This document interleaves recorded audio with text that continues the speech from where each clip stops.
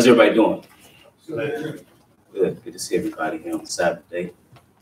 And uh, we'll go ahead and get started.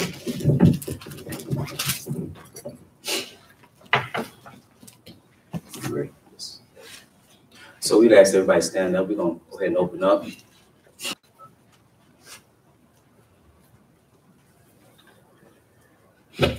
Our Father which art in heaven, Our Father which art in heaven, hallowed be thy name. hallowed be thy name. Thy kingdom come, Thy kingdom come. thy will be done, Thy will be done. In earth. In earth. as it is in heaven. As it is in heaven. Give us this day our daily bread, Give us this day our daily bread. and forgive us our debts, And forgive us our as debts. we forgive our debtors.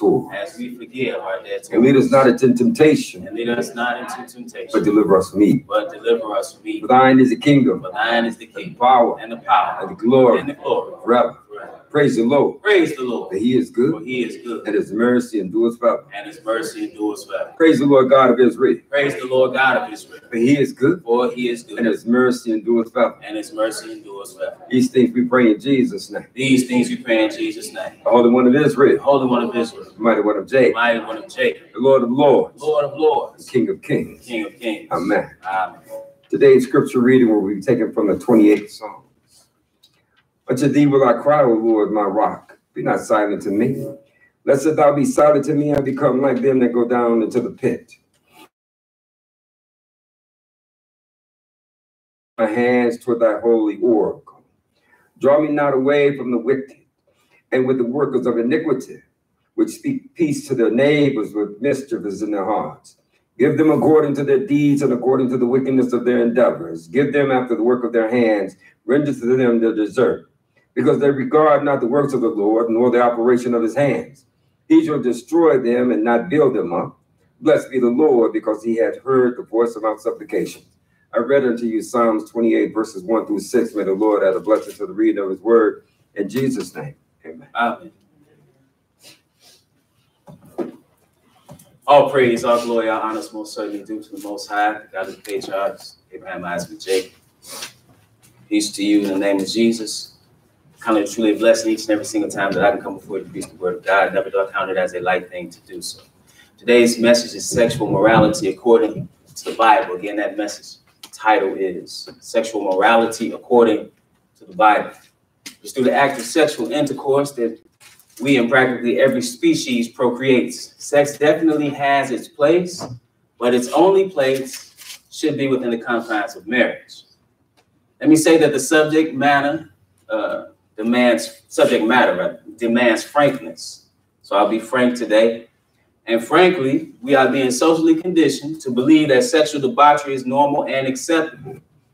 The dominant position mocks the notion of abstinence before marriage for our youth. Some say it is realistic. But what is truly unrealistic is the belief that there are no consequences for sexual sins. Not only will the failure to bring your carnal flesh into subjection bring your entrance into the kingdom of God into question, but on the path of eternal damnation. The pit stops on that path are STDs, unwanted pregnancy, emotional despair, abortion, self degradation. People of God, we are, and we should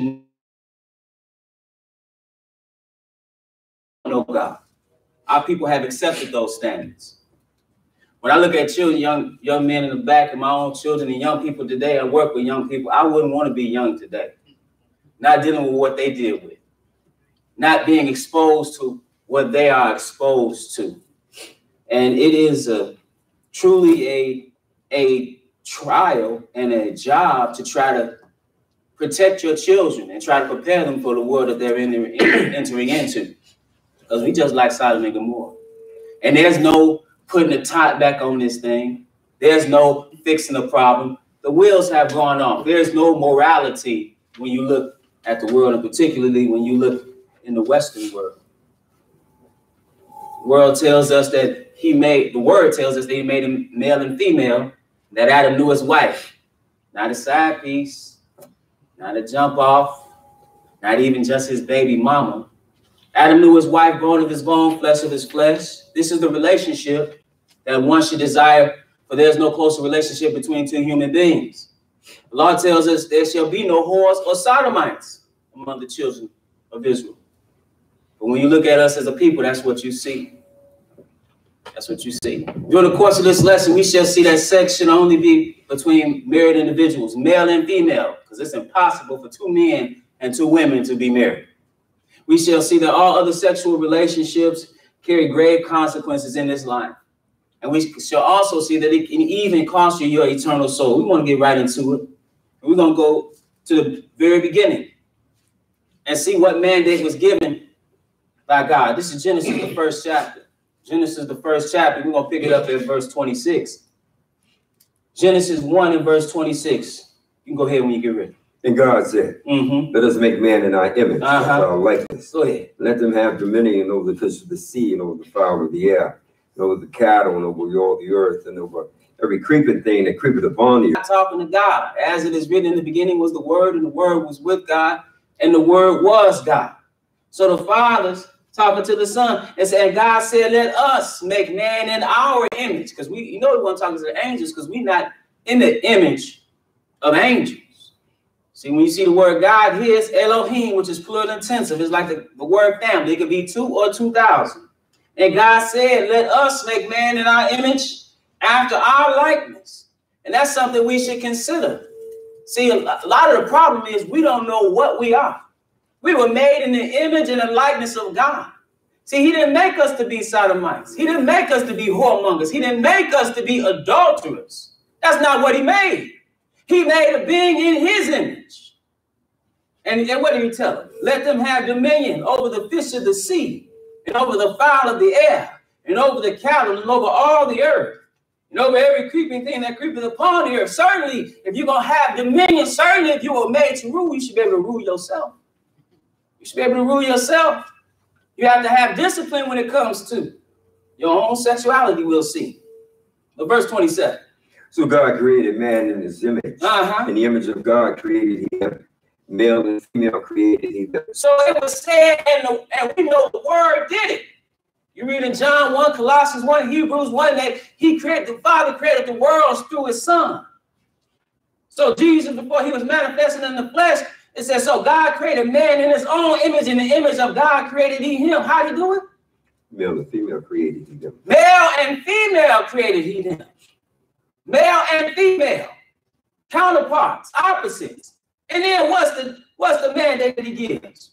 Go ahead. Verse 28. Uh-huh. And God blessed them. Go ahead. And God said unto them, Be fruitful and multiply and replenish the earth. So he told them, he said, God blessed them, and God said unto them, Be fruitful and multiply and re-" see a book don't need to tell you that. You can just look. You you understand what goes where. And God blessed them, and God said unto them, Be fruitful and multiply and replenish the earth. See, that's how you know homosexuality and same-sex marriage is wrong. Because even your it's against uh, natural law, even your intuition tells you that sex with someone of the same gender, if you will, is inappropriate. And it is sterile when the mandate was to be fruitful and multiply. You know this. So you don't even need the book. We got the book, but you don't need the book to know that. Look at the world. Look how things function. Look at anatomy. So it's saying God blessed them, and God said unto them, Be fruitful and multiply and replenish the earth and subdue it, and have dominion over the fish of the sea, and over the fowl of the air, and over every living thing that moveth upon the earth. So he said, Okay, be fruitful and multiply, but it's with condition. Because we look at the world, people certainly, certainly try to do what it takes to multiply. Even as young as 13 years old, I saw a study this morning that said that black males the age of 13 and under and under in urban areas are already sexually active 25% already under 13 but it says and god said and god blessed them and god said unto them be fruitful and multiply and it is conditioned with this let's go to genesis the second chapter and we want to pick it up right in the 18th verse because that mandate was supposed to be carried out within an institution Let's find out about that institution, the most important institution amongst mankind. Genesis 2 and verse 18. When you ready, go ahead. And the Lord God said, Uh-huh. It is not good that the man should be alone. So he said, It's not good that this man that I've created should be alone. What did he do? It said, I'm gonna make a help meet for him, a help fit for him. That's what he made. So the Lord God said, It is not good that the man should be alone. I will make an help fit for or meet for him. Verse 19. And under the ground the Lord God formed every beast of the field and every fowl of the air and brought them unto Adam to see what he would call them. So he made all these animals and brought them unto Adam, and Adam in his intellect, because it was already there. He wasn't a baby that had to form it. He was a man when he was formed with seed inside of him to procreate. And then he brings these animals for him to name them. But let's see what was found amongst the animals. Verse 20. And Adam gave name to all cattle, to Uh-huh. the fowls of the air, to every beast of the field. But for Adam there was not found to help me for him. So what was not found was his help me. Wasn't amongst the animals. So what did the Lord do? Go ahead. Verse 21. And the Lord God caused a deep sleep to fall upon Adam, and he slept. And he took one of his ribs and closed up the flesh instead thereof. So what did he do? He put this, he performed surgery. And what do you do when you perform surgery? You put somebody to sleep, anesthesia. So he put him to sleep and he took his rib, right?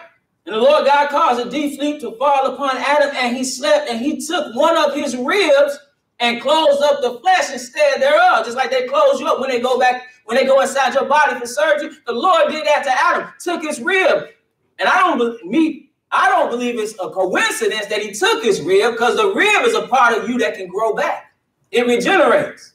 But verse 22, And the rib which the Lord God had taken from man what did he do with it? made him a woman. He made him a woman. Notice he didn't make him another man. He made him a woman. Straight from him. So that's the oneness there. And the rib which the Lord God had taken from man made he a woman and did what? and brought her unto the man. 3. And Adam said, Uh-huh. This is now bone of my bone Go ahead. and flesh of my flesh. What's she called? She should be called woman because she was taken out of man. even naming her. He named her, just like he named the animals. He named. He said, "She shall be called woman because she was taken out of man." And what shall a man do? Go ahead. Therefore, shall a man leave his father and his mother, Uh huh. and shall cleave unto his wife, and they shall be one flesh. Again, it, he not cleaving to another man. He they don't say he cleaving to his baby mama. He not cleaving to his. It say his wife. Therefore shall a man leave his father and his mother, and shall cleave unto his wife. Why leave your father and your mother and cleave unto your wife so you can fulfill that mandate of being fruitful and multiplying? And he said, and they shall be one flesh. So they on one accord. They literally, he, hey, one flesh, become one flesh. We'll find out as we read. But let's go to Hebrews, the 13th chapter, because he instituted marriage in the very beginning. And then you see Eve was called the mother of all living. Had Seth, and then he said had many sons and daughters. But what was it in? It was in the within the confines of marriage. Why marriage? Why marriage to bring forth children? Because it is within the confines of marriage that children are best cared for. Regardless of what the world will tell you, you need your mother and you need your father. You need them both. And both of them bring attributes that the child needs. Sometimes when you need to be nurtured, more than likely that will come from your mother. Not in every single case, but more than likely it will come from your mother. And when you need discipline and instruction, it's supposed to come from your father. Even though instruction does come from your mother too, as well. But they both bring and they balance each other out. They're supposed to when they're working together. But if you got two men and two women talking about a baby, that that union automatically deprives the child from one of the parents that he or she needs. Hebrews the 13th chapter and verse 4. See, quite frankly, like I said, I'm speaking frank, terms today. Quite frankly, people have lost their minds. Hebrew honorable. Marriage is honorable. You talking about two people coming together and being sexually intimate, it should be within the confines of marriage. What about everything else? In the bed undefiled. So he said marriage is honorable and the bed undefiled. Meaning what's going on in that bedroom, that's that's nothing wrong with that as long as it's not violating any other laws. Marriage is honorable and all, and the bed undefiled, but what? But whoremongers and idolaters, God will judge. But whoremongers, those who dealing in fornication, men, that whoremongers are men. I heard a, a woman say this is a long time ago. She said she wanted to be, she wanted to be like a man. I said, what are you talking about? She said, I want to be like a man, you know, a pimp. I said, women can only be whores. Men are whoremongers. There is a difference. There's a difference. And both of them are wrong. But let's get it straight and see what it is. See, people have lost their minds today. So it said marriage is honorable the law and the bed undefiled, but whoremongers and adulterers, it said God will judge. See, he has instructed us in how we ought to behave in every way, what we should eat, even what we should wear, even how to maintain ourselves sexually. So he said he's going to judge. Now let's go to Exodus, the 22nd chapter. Because he had it, even if, again, he upholds marriage, the first institution amongst men. Paul said marriage is honorable. Everybody else, God gonna judge. Let's see what happens if sex happens outside of the confines of marriage, because that's even in the instruction that's given, which is Torah or the law. Let's see what he says. Exodus, the 22nd chapter and verse 16. Exodus 22 and verse 16. When you ready, go ahead. And if a man entice a maid that is not betrothed Uh-huh. and lie with her, Go ahead. he shall surely endow her to be his wife. So now, if a so it's in the law that if a man entice a maid, and this is consensual now, that is not betrothed. Betrothed means she's not like we would we would call it being engaged or you're about to be married. See, one thing about the scripture, one thing about the law, being betrothed and being married are on the same level. You know that from the punishments that we'll read later. But it says, and if a man entice a maid that is not betrothed and lie with her, he shall surely endow her to be his wife. It don't mean when he lay with her that was his wife. It meant that he had to go about the necessary steps to make her his wife. It's like not too long ago, what they would do if you if somebody ended up pregnant, her father might come to you and say, "You got," because that you went out of the order. So God put it in the in the Torah, the instruction that He gave us. If you go out of order with this woman, you got to go out making her your wife. And what you would do is you would pay a dowry. The dowry is like a, uh, uh, something that you would give to the father. Verse 17. If her father utterly refuse to give her unto him, What should happen? he shall pay money according to the dowry of virgins. He shall pay money according to the dowry of virgins. See, you want so that show you, even if you go out of pocket is and, and go and jump the gun and do this, he got it to where no, what you supposed to do is you supposed to make that your wife. It don't mean that she is your wife. I heard that doctrine when I first got into the word. That when you lay with some woman, that's automatically your wife. That's not what the Bible is saying. What the Bible is saying is that you need you would go about the steps to make that woman your wife. Deuteronomy the 22nd chapter. See what you see going on right now, the sexual debauchery that you're going on, that's going on right now. He didn't want our people doing that. And you know that clearly from what he has placed in his word. Deuteronomy the 22nd chapter and verse 13. Deuteronomy 22 and verse 13. It's a frank conversation. Deuteronomy 22 and verse 13. When you ready, go ahead. If any man take a wife and go unto her, So if you, if a man takes a wife and goes into her to, consum, to consummate the marriage, because that's what consummates marriage. Sex don't make you marry. Sex consummate consummates a marriage. Consummates a covenant that is made between a man and a woman. If any man take a wife and go in unto her and hate her and do what? and give occasions of speech against her, Saying what? and bring up an evil name upon her, Mm-hmm. and say, I took this woman, and when I came to her, I found her not a maid. Uh-oh.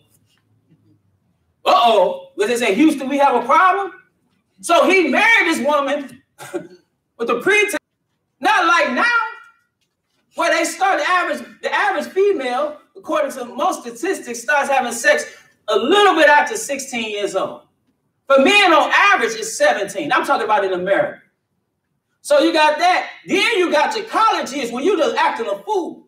Then you got that time until you meet somebody when you're 26 and 27, and you got you got body bodies galore. Skeletons all dropping out your car. You got all kind of partners. And then, then you go get married. That's out of order.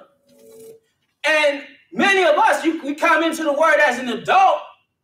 But one thing about it, just like it took one generation to go our course, it just take one generation to fix it. So we should be setting an example for the young generation and for our children not to go down the same path. It should not be that we come into the word as an adult and have made all these mistakes in our past and in our children, we don't set a good example for them and they make the same mistake. That shouldn't be. We should see a difference amongst, at least amongst our children within the word. That's what we should see. So it says, this one, he went into this woman and found her not a maid. That meant he found that she was not a virgin. That was the expectation. Now, when you really think about this thing, if I had, if you just saw a bottle of water that was half drunk on that on that counter right there, you ain't know whose it was. Would you just go up and start drinking from it? You'd be like, oh, that's nasty. But you'll go into somebody that everybody didn't have. See, you got to see standards to save your life. That's real. Like I said, it's not going to be politically correct. So it said, Then shall the father of the damsel her mother take and bring forth the tokens of the damsel's virginity unto the elders of the city and the gate. What's that? That was placed under the bed, on the bed rather, as a, a uh, cloth. Would keep that as, as a token of honor. She was an honorable woman. So when he said she wasn't a maid, the father could be like, hold on, I got proof that she was a virgin. And I've seen, literally seen families in the East that have these tokens of virginity. And it, you see a bunch of their families celebrating because it, this is honorable because our, our, our daughter was a virgin. And they celebrating and dancing. So it said, then the father of the damsel and her mother take and bring forth the tokens of the damsel's virginity unto the elders of the city and the gate. So the ones that were supposed to judge the matter, they bring this and they say, what did he say? Verse 16.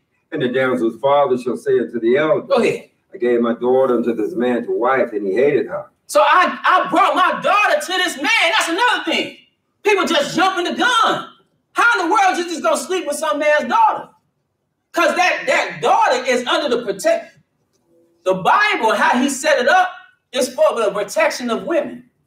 He had a woman protected while she was under her father's roof, and then she would go directly from that to being under the protection and covering of her husband. That's how he set it up. So you had no right to go and deal with that woman in any kind of way without talking to her father first. So it said, and the damsel's father shall say unto the elders, I gave my daughter unto this man to wife, and he hated her.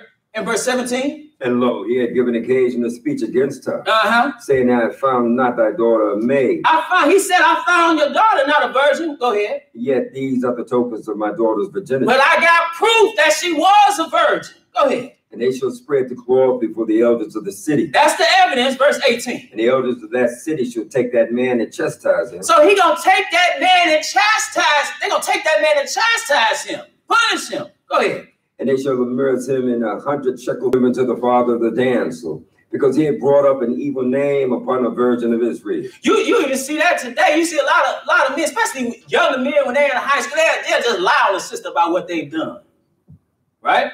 Or what she is, for whatever reason. So now this brother or this man, he's gonna lie on this sister, but the sister kept her integrity. He's the one that's lacking integrity. So he got punished, he got chastised, he got fined.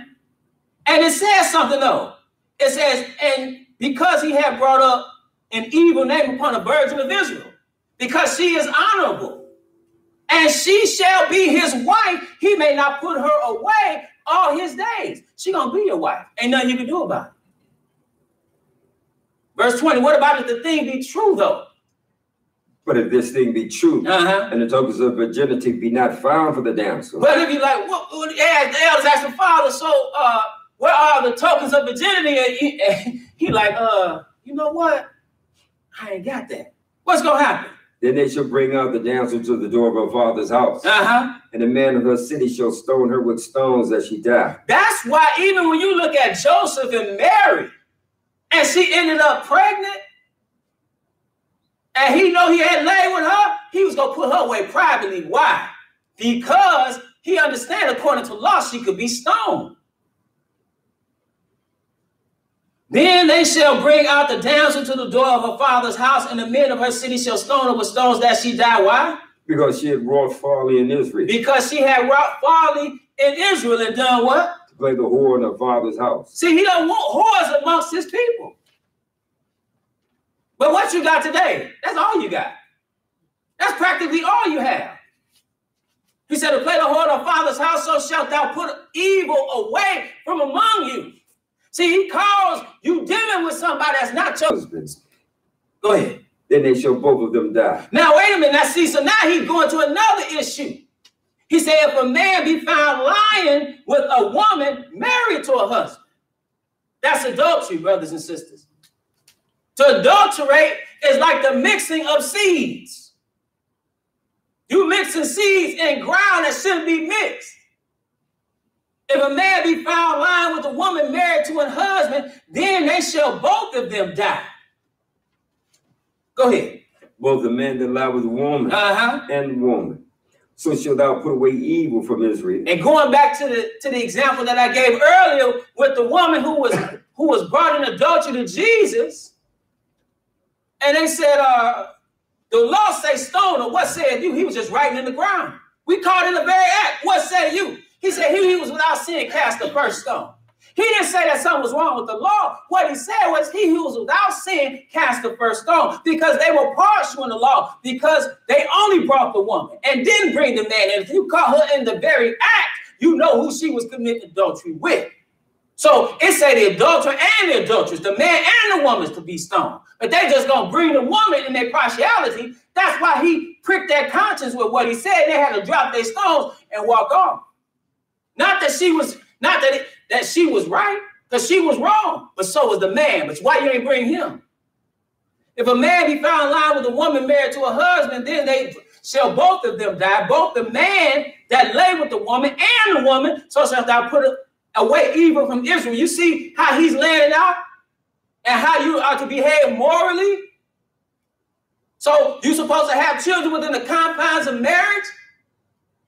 And if you you're a man that deal with somebody who's not married or betrothed, and y'all come together, you got to make that your wife. And then he's saying you shouldn't be dealing with some other man. Verse 23. If a damsel that is a virgin Uh-huh. be betrothed unto a husband, Go ahead. and a man find her in the city and lie with her, So now if a man is, uh, if a woman is betrothed, or that's like engaged, and she lie with another man that she's not engaged to, and she be a virgin, go ahead, what did it say? then ye shall bring them both out of the gate of that city. That's why he likens see marriage or, or being married and being betrothed equally. Because the one who slept with the woman that's betrothed to another man, bring that man and bring that woman to the, and say unto the gate of that city. Go ahead. And ye shall stone them with stones that they die. Capital punishment. I just saw it somewhere, Brunei, they, they try to bring that back, stoning, but for adultery, but go ahead. The damsel because she cried not being in the city, Uh-huh. and the man because he had humbled his neighbor's wife. So the damsel, because she cried not, meaning it wasn't, or it was consensual rather. And it says, so she was in error because she know the covenant uh, that she had entered into. And it said, it only had to be consummate, consummated through marriage. And it said, or through uh, sex. And it said the uh, the man, because he had humbled his neighbor's wife. See, they, he put it on the same level.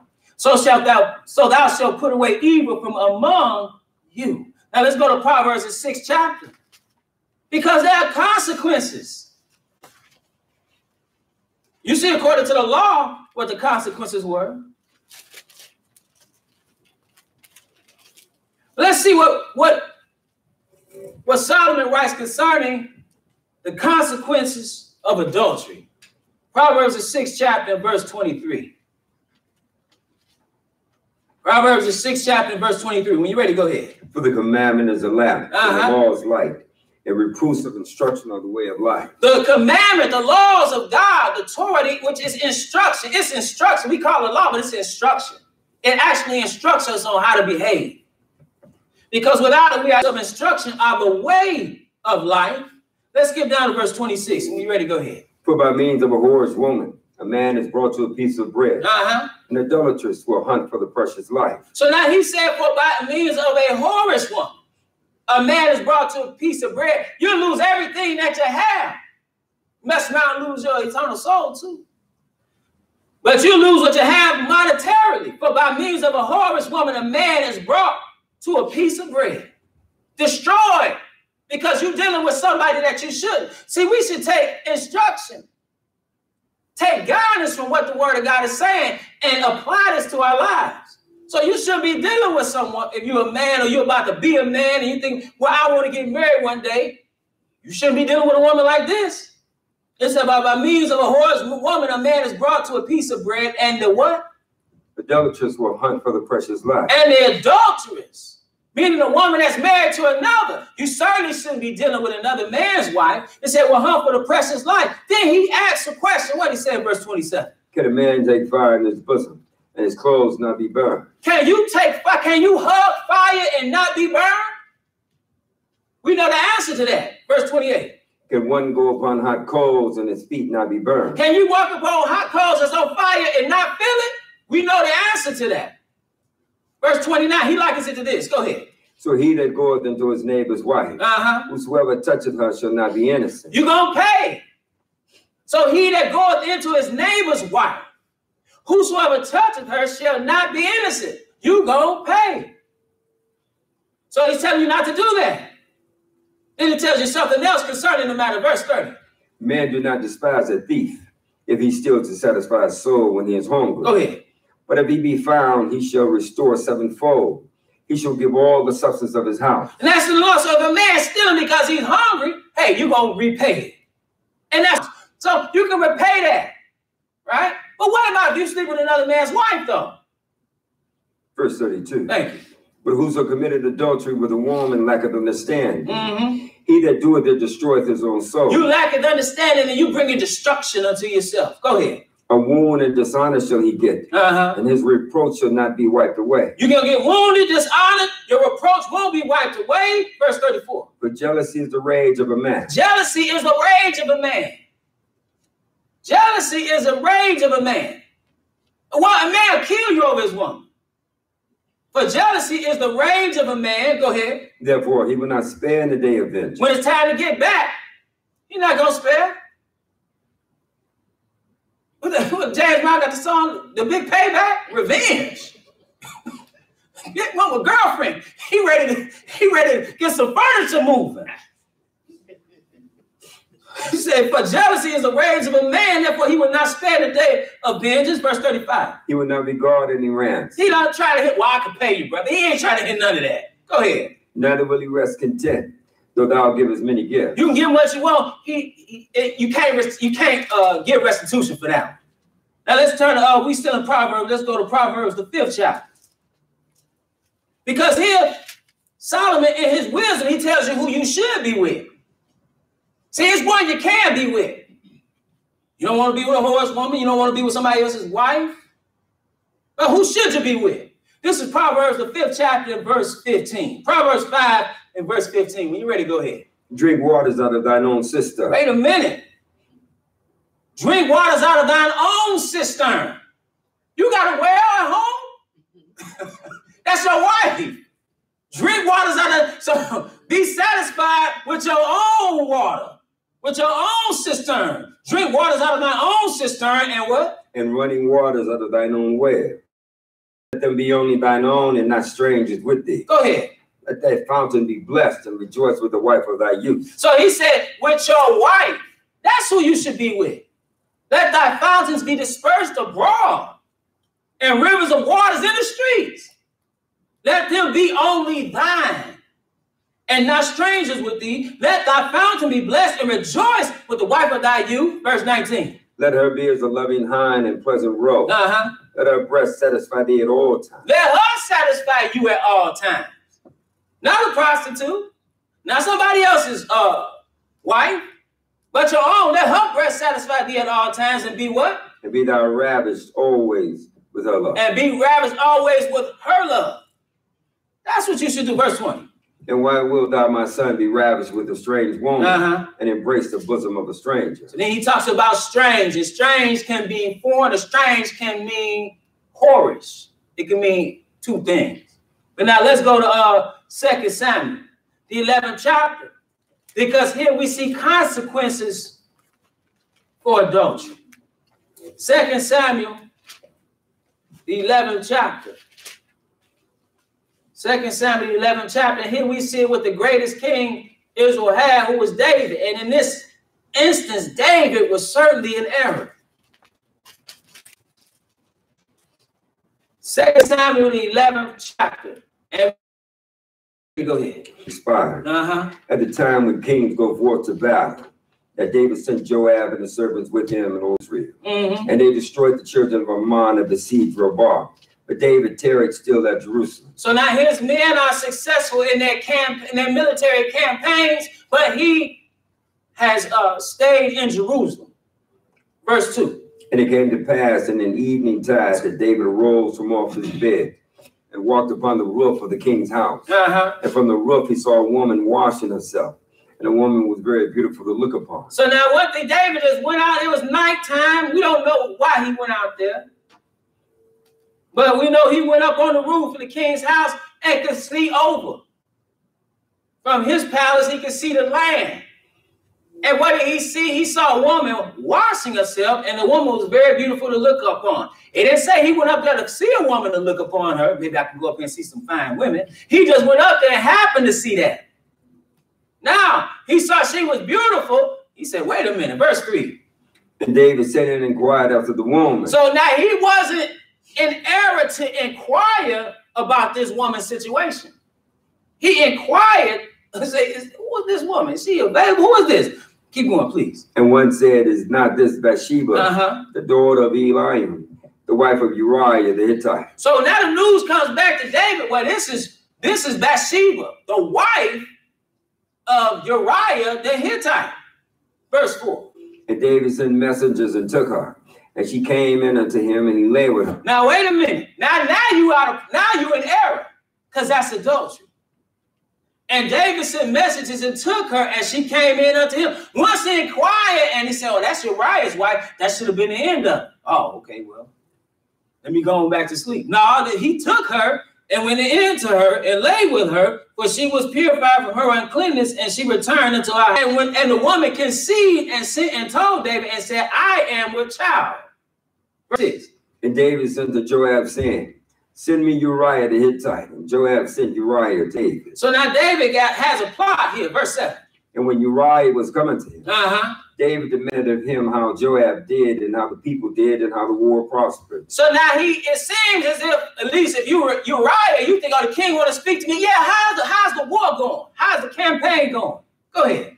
And David said to Uriah, Go down to thy house and wash thy feet. And Uriah departed out of the king's house, and there followed him a mess of meat from the king. So, so the king got man, he said he tried to set him up. So he gets, you know, hey man, how's the war going? Okay, you talking to him, talking to him. All the while, he know he even got his wife pregnant. In his face. So then what happens? He sends Uriah, say, man, go home, man. Take, I know you've been warned, go ahead, go home. Because he's hoping when he go home, obviously you ain't seen your wife. you go lay with your wife. He said, hey man, he take this meat too with you. Go ahead. Yeah, go ahead. So he got hide the fact that he didn't got, see, this before Maury Povich. This before that. So he didn't, he didn't, he try to make sure that he'll go home and sleep with his wife so he can hide the fact that he got her pregnant because it's around the same time and pro- same proximity of time. So verse uh verse nine, because what did Uriah do? Go ahead. But Uriah slept at the door of the king's house with all the servants of his lord, and went not down to his house. Uriah, Uriah didn't go home like he like he just assumed or expected him to. Go ahead. And when they had told David, saying, Uriah went not down into his house, David said unto Uriah, Camest thou not from thy journey? Why then thou didst not go down into thine house? Man, why didn't go home? Uriah has some integrity. Verse 11. Go ahead. And Uriah said unto David, The ark in Israel and Judah abide in tents, Uh-huh. and my lord Joab and the servants of my lord are encamped in the open field. Go ahead. Shall I then go into mine house to eat and to drink, to lie with my wife? As thou livest, as thou so liveth, I will not do this thing. So he had one integrity. He said, listen, the ark is in tents, and my Lord Joab and the servants of my Lord are encamped in the open fields. They suffering on the battlefield. They ain't with their wives, those are my comrades. How to go home and enjoy my wife. We like you ever heard of you ever seen the, the bond that soldiers have? It's a, it could be a very strong bond if they done been in combat together. So he's like, no, I'm, I'm, I, I'm my heart is still on the battlefield. I'm not going to engage in the luxuries of domestic life when we engaged in war. He said, he said, can I should I then go into mine house to eat and drink and lie with my wife? As thou livest and as thou soul liveth, I will not do this thing. Verse 12. And David said to Uriah, Uh-huh. Tarry here today also and tomorrow. Go ahead. I will let thee depart. So Uriah abode in Jerusalem that day and the morrow. So he sent him back, but then what did he do? He sent a letter saying, listen, get Uriah in the forefront of the hottest battle, and when he fighting, withdraw from him. So ultimately, he committed adultery with the woman's, with the man's uh, wife, and then had the man killed to cover it up. That's what David did. Now let's go to verse 13. Uh, excuse, not verse 13, but uh chapter 13. No, chapter, we had, we had verse 13. eh? Verse Yeah, sorry, verse 13. Go ahead. And when David had called him, he did eat and drink before him. And he made him drunk. And then evening he went out to lie on his bed Uh-huh. with the servants of his Lord, but went not down to his house. And it came to pass in the morning that David wrote a letter to Joab and sent it by the hand of Uriah. And he wrote in the letter saying, Take you Uriah at the forefront of the hottest battle, and retire ye from him, that he might be spitten, smitten and die. And we know that's what happened to him. So he had Uriah killed. Now let's go into uh chapter 12. We're gonna pick it up at verse 7. Because see, one thing about it, the Lord, see you doing things in the dark. You think everybody see you mean at a hotel? God see you. You mean that you worried about your spouse or somebody else. You need to be worried about the most high. He see you coming out the Motel 6. He see you. You coming out like this. He, he see you, fool. uh, 2 Samuel 12. And we're to pick it up at verse 7. Because here, the Nathan, the prophet of God, is going to rebuke David for his action. And he gives this scenario of a man, two men, one rich has everything, and one poor, and all he has is a little ewe lamb. And in order to uh, entertain and, and uh, be hospitable to his guests, the rich man take the one ewe lamb and slays the ewe lamb, takes it from the poor man instead of taking of his flock. So now that don't seem fair. You have everything. You the king of Israel. Like you go up to your palace on top and you look it over. You got men fighting that you didn't send out there to war so that you can gain the spoils from war, so that you can gain power. Uriah out there, the everyday Joe, the average man, just trying to make it on the battlefield. And then you take his wife?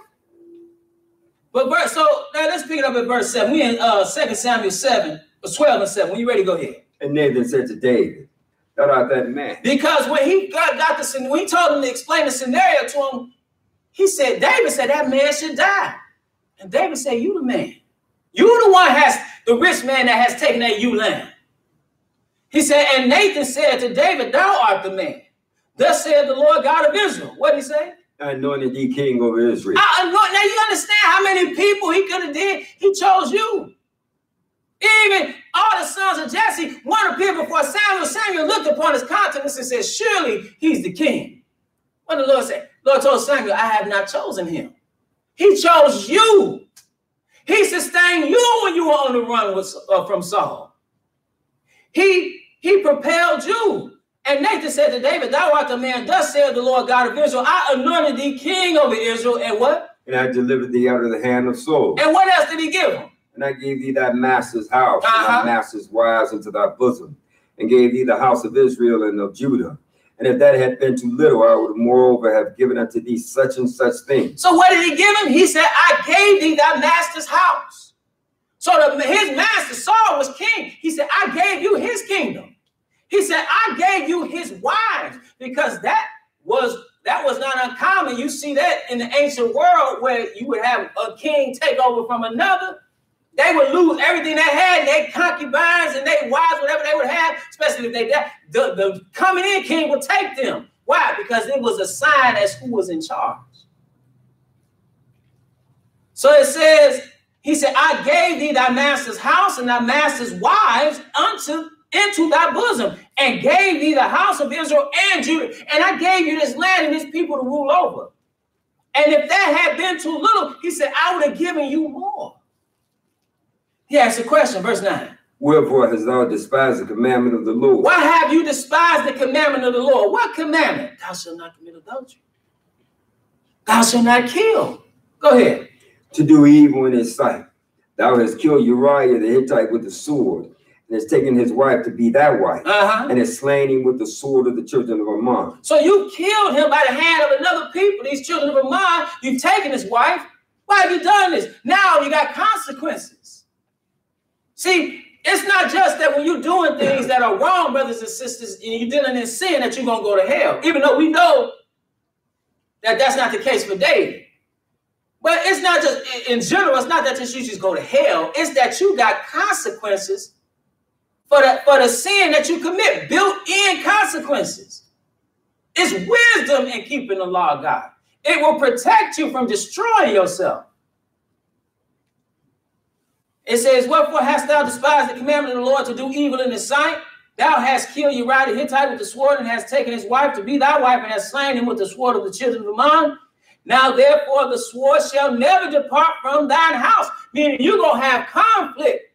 You're gonna have killing within your own household. And what? Because thou hast despised me, and hast taken the wife of Uriah the Hittite to be thy wife. Uh-huh. Thus saith the Lord, Behold, I will raise up evil against thee out of thine own house, So now evil's gonna come out of your own household.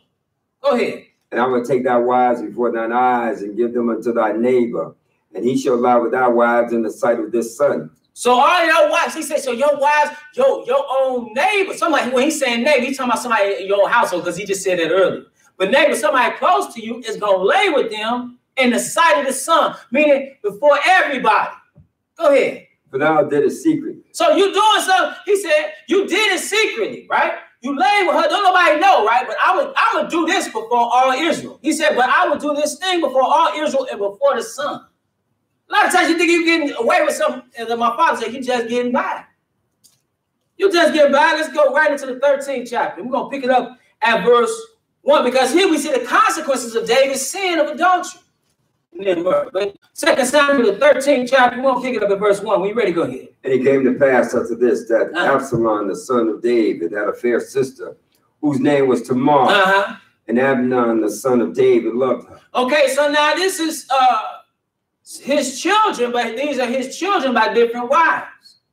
So it says, uh it says, and it came to pass after this that Absalom, the son of David, now Absalom's mother was Miriam. The son of David had, and he had a fair sister whose name was Tamar.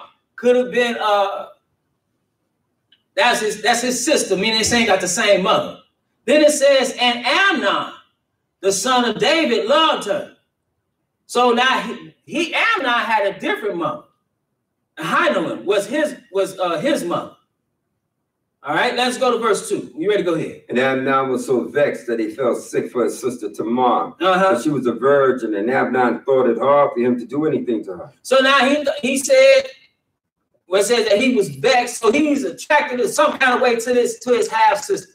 Okay, which should be going down. But verse uh, what we at? Verse, Verse five. five. Thank you. Go ahead. And Jonadab said unto him, Lie thee down on thy bed and make thyself sick. And when thy father cometh to see thee, say unto him, I pray thee, let my sister Tamar come and give me meat, and dress the meat in my sight, that I may see it and eat it at her hand. So we didn't read it, but uh, Jon- Jonadab, Jonadab came unto him and said, "Man, what you upset for? You the king?" Oh man, I'm he he like tomorrow. He said, "Well, I got a plan." So he gives him this wicked wicked counsel to act like he's sick, and then asks Tamar to come in. So Amnon lay down and made himself sick, and when the king was come to see him, Amnon said unto the king, I pray thee that Tamar my sister come and make me a couple of cakes in my sight that I may eat at her hand. Let's go to verse uh, 10. When you ready, go ahead. And Amnon said unto Tamar, Uh-huh. Bring the meat into the chamber that I may eat of thine hand. And Tamar took the cakes which he had made and brought them into the chamber to Amnon her brother. So now, now one thing about it, Tamar doesn't know what, what's going on in this foolish man's mind. She's trying to do the right thing, has no ill intent, is not guilty of doing anything but trying to help somebody who she think is sick. So said, and I said unto Tamar, bring the meat into the chamber that I may eat of thine hand. And Tamar took the cakes which she had made and brought them into the chamber to Amnon, Amnon her brother. See, one thing about this that it points out is that you sometimes you can't uh, you have to take into account sometimes other people's foolishness and protect yourself and understand when you may be vulnerable. That's not fair. But one of the lessons you learn as you keep living, life is not fair. That's not right. It don't matter. It don't matter. You have to, you have to, and of course, in this case, you like, man, that's a brother. The mind is a sorted place. The mind is a sorted place. And you have to take into consideration what other people might do when you operating in this world. Particularly a woman, because regard again, it's not politically correct, but when you look at it, physically, obviously, women are more vulnerable than men. So they are more, they could be more prone to be taken advantage of in this way. You need to understand that when you walk in the streets. I give an example, the woman that was out, she out four o'clock in the morning driving somebody home, and then this racist comes in, she going the wrong way, then he, he comes into her and he assaults her, pulls a gun at her, totally wrong, 100% wrong. But if it were my daughter, I would tell you, do not go out at four o'clock at night anywhere, or four o'clock in the morning anywhere. If it so be that somebody had to go out at four o'clock in the morning, let it be me. That don't mean what she. That don't mean she was wrong that she did something. That man was totally wrong. So don't don't miss don't misunderstand what I'm saying. But you have to account for the things that may happen and understand when you are vulnerable. People looking at you like prey. You walk around like a little lamb. They looking at you like like a meal. So you have to take that into consideration. Is that fair? No. That's the reality. That's the reality. So where we at? Verse 11. Thank you. And when she had brought them unto him to eat, he took hold of her and said unto her, Come lie with me, my sister. Uh-huh. And she answered him, Nay, my brother, do not force me, for no such thing ought to be done in Israel. Do not do thou this folly. So she told him, no. She said, don't do this folly. That is folly. You're not supposed to be with your half sister. Verse 13. And I, whither shall I cause my shame to go? And as for thee, thou shalt be as one of the fools in Israel. Mm-hmm. Now therefore I pray thee, speak unto the king, for he will not withhold me from thee. So so- she might be telling him that to get out of there.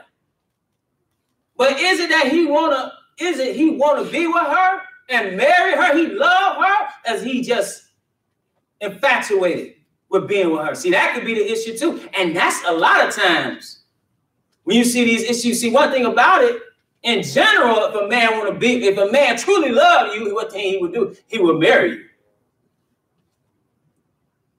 A lot of times, men would tell women anything.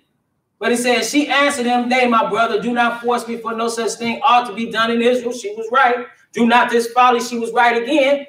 And I will whither, and whither shall I cause my shame to go? Being defiled. Right? Because we read earlier in the law about you can't just slander a, a, a one a virgin in Israel and say something because they had an honorable position, and her certainly being the king's daughter. So I pray. She said, I pray thee speak unto the king, but he will not withhold thee, me from thee. So in verse 14, what it say? Howbeit he would not hearken to her voice, but being stronger than she, forced her in line with her. So she was in a vulnerable position, and that's rape. That's rape. Hold uh And that's that's that's good. Let's keep, going. 15, because that's the cap. I wanted to read what that's a capital punishment. Actually, uh, give me one second. Uh, Deuteronomy 22nd chapter. Just so we understand what he did and how the Lord feel about what he did. Deuteronomy the 22nd chapter and verse 25. Deuteronomy 22 and verse 25. When you ready, go ahead. But if a man find a betrothed damsel in the field, and the man force her and lie with her, So then now this is not consensual. Just what uh Amnon did to Tamar. But if a man find a betrothed damsel in the field and the man force her and lie with her, then the man what? then the man only that lie with her shall die. Go ahead. But unto the damsel thou shalt do nothing. Because why not? There is in the damsel no sin worthy of death. Nothing she did that was wrong. Nothing she did. This man was a perpetrator. Go ahead. For as when a man riseth against his neighbor and slayeth him, even so is this manner. So it's just like if a man, you know, lying in wait to kill somebody, take, take somebody by surprise. Take somebody by surprise. I always think about, I don't understand today. Again, it's not politically correct, but it is what it is. I don't understand why women are operating the way that they operate today when when people behave in which they behave. When I drive to work, I see little little girls walking around wooded areas with all the missing young black girls around here. Your parents don't have sense enough to not let you walk by this wooded area with all these cars passing by where somebody could just snatch you up. When we was coming here today, I saw a woman in my peripheral.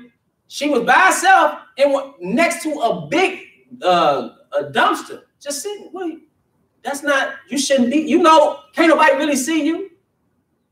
You have to protect yourself. You have to keep in mind what other people will do. That don't make sense to me. And ain't nobody, and that's the bad part. Something happened to you, they not gonna find you. They're not coming to look for you. Black life is cheap in this country. But now back to uh Second Samuel. Where we at? Verse 16? Second Samuel uh 13th chapter. Verse, 15. verse 15. Thank you. So he he raped he raped her. Verse uh 15. Then Amnon hated her exceedingly. Now wait a minute. Now he didn't lay with her. First he, he was sick for. her. Now he didn't did what he wanted to do. Now he hated her. Go ahead. So that the hatred wherewith he hated her was greater than the love with wherewith he had loved her. Uh-huh. And Amnon said unto her, Rise, be gone. And that's because what he was trying to get was totally carnal. It could be like that in consensual relationships too. You've seen that. You land with somebody, have no covenant, no relate, not even no relationship. And you land there, they like, oh, so uh, when you getting out of here? It's about time for you to go. Because they didn't got what they wanted. They didn't treated you like trash. They thrown you away. See, you got to have some self-value. You not trash. Have some dignity, have some respect. Don't let nobody do you like that. He looking at you like, man, when you getting out of here? Won't call you an Uber. How you gonna get home? He go to sleep. Where we at? Verse 17? Verse 16. 16, thank you. And she said unto him, There is no cause this evil in sending me away is greater than the other that thou didst unto me. But he would not hearken unto her. So now he just totally did this uh, terrible thing to Tamar in verse 17. Then he called his servant and ministered unto him and said, Put now this woman out from me, and bolt the door after her. Man, get her out of here and lock the door. So he was totally bogus. Now skip down to verse 19, if you will. So what was Tamar's uh, situation after this? Go ahead.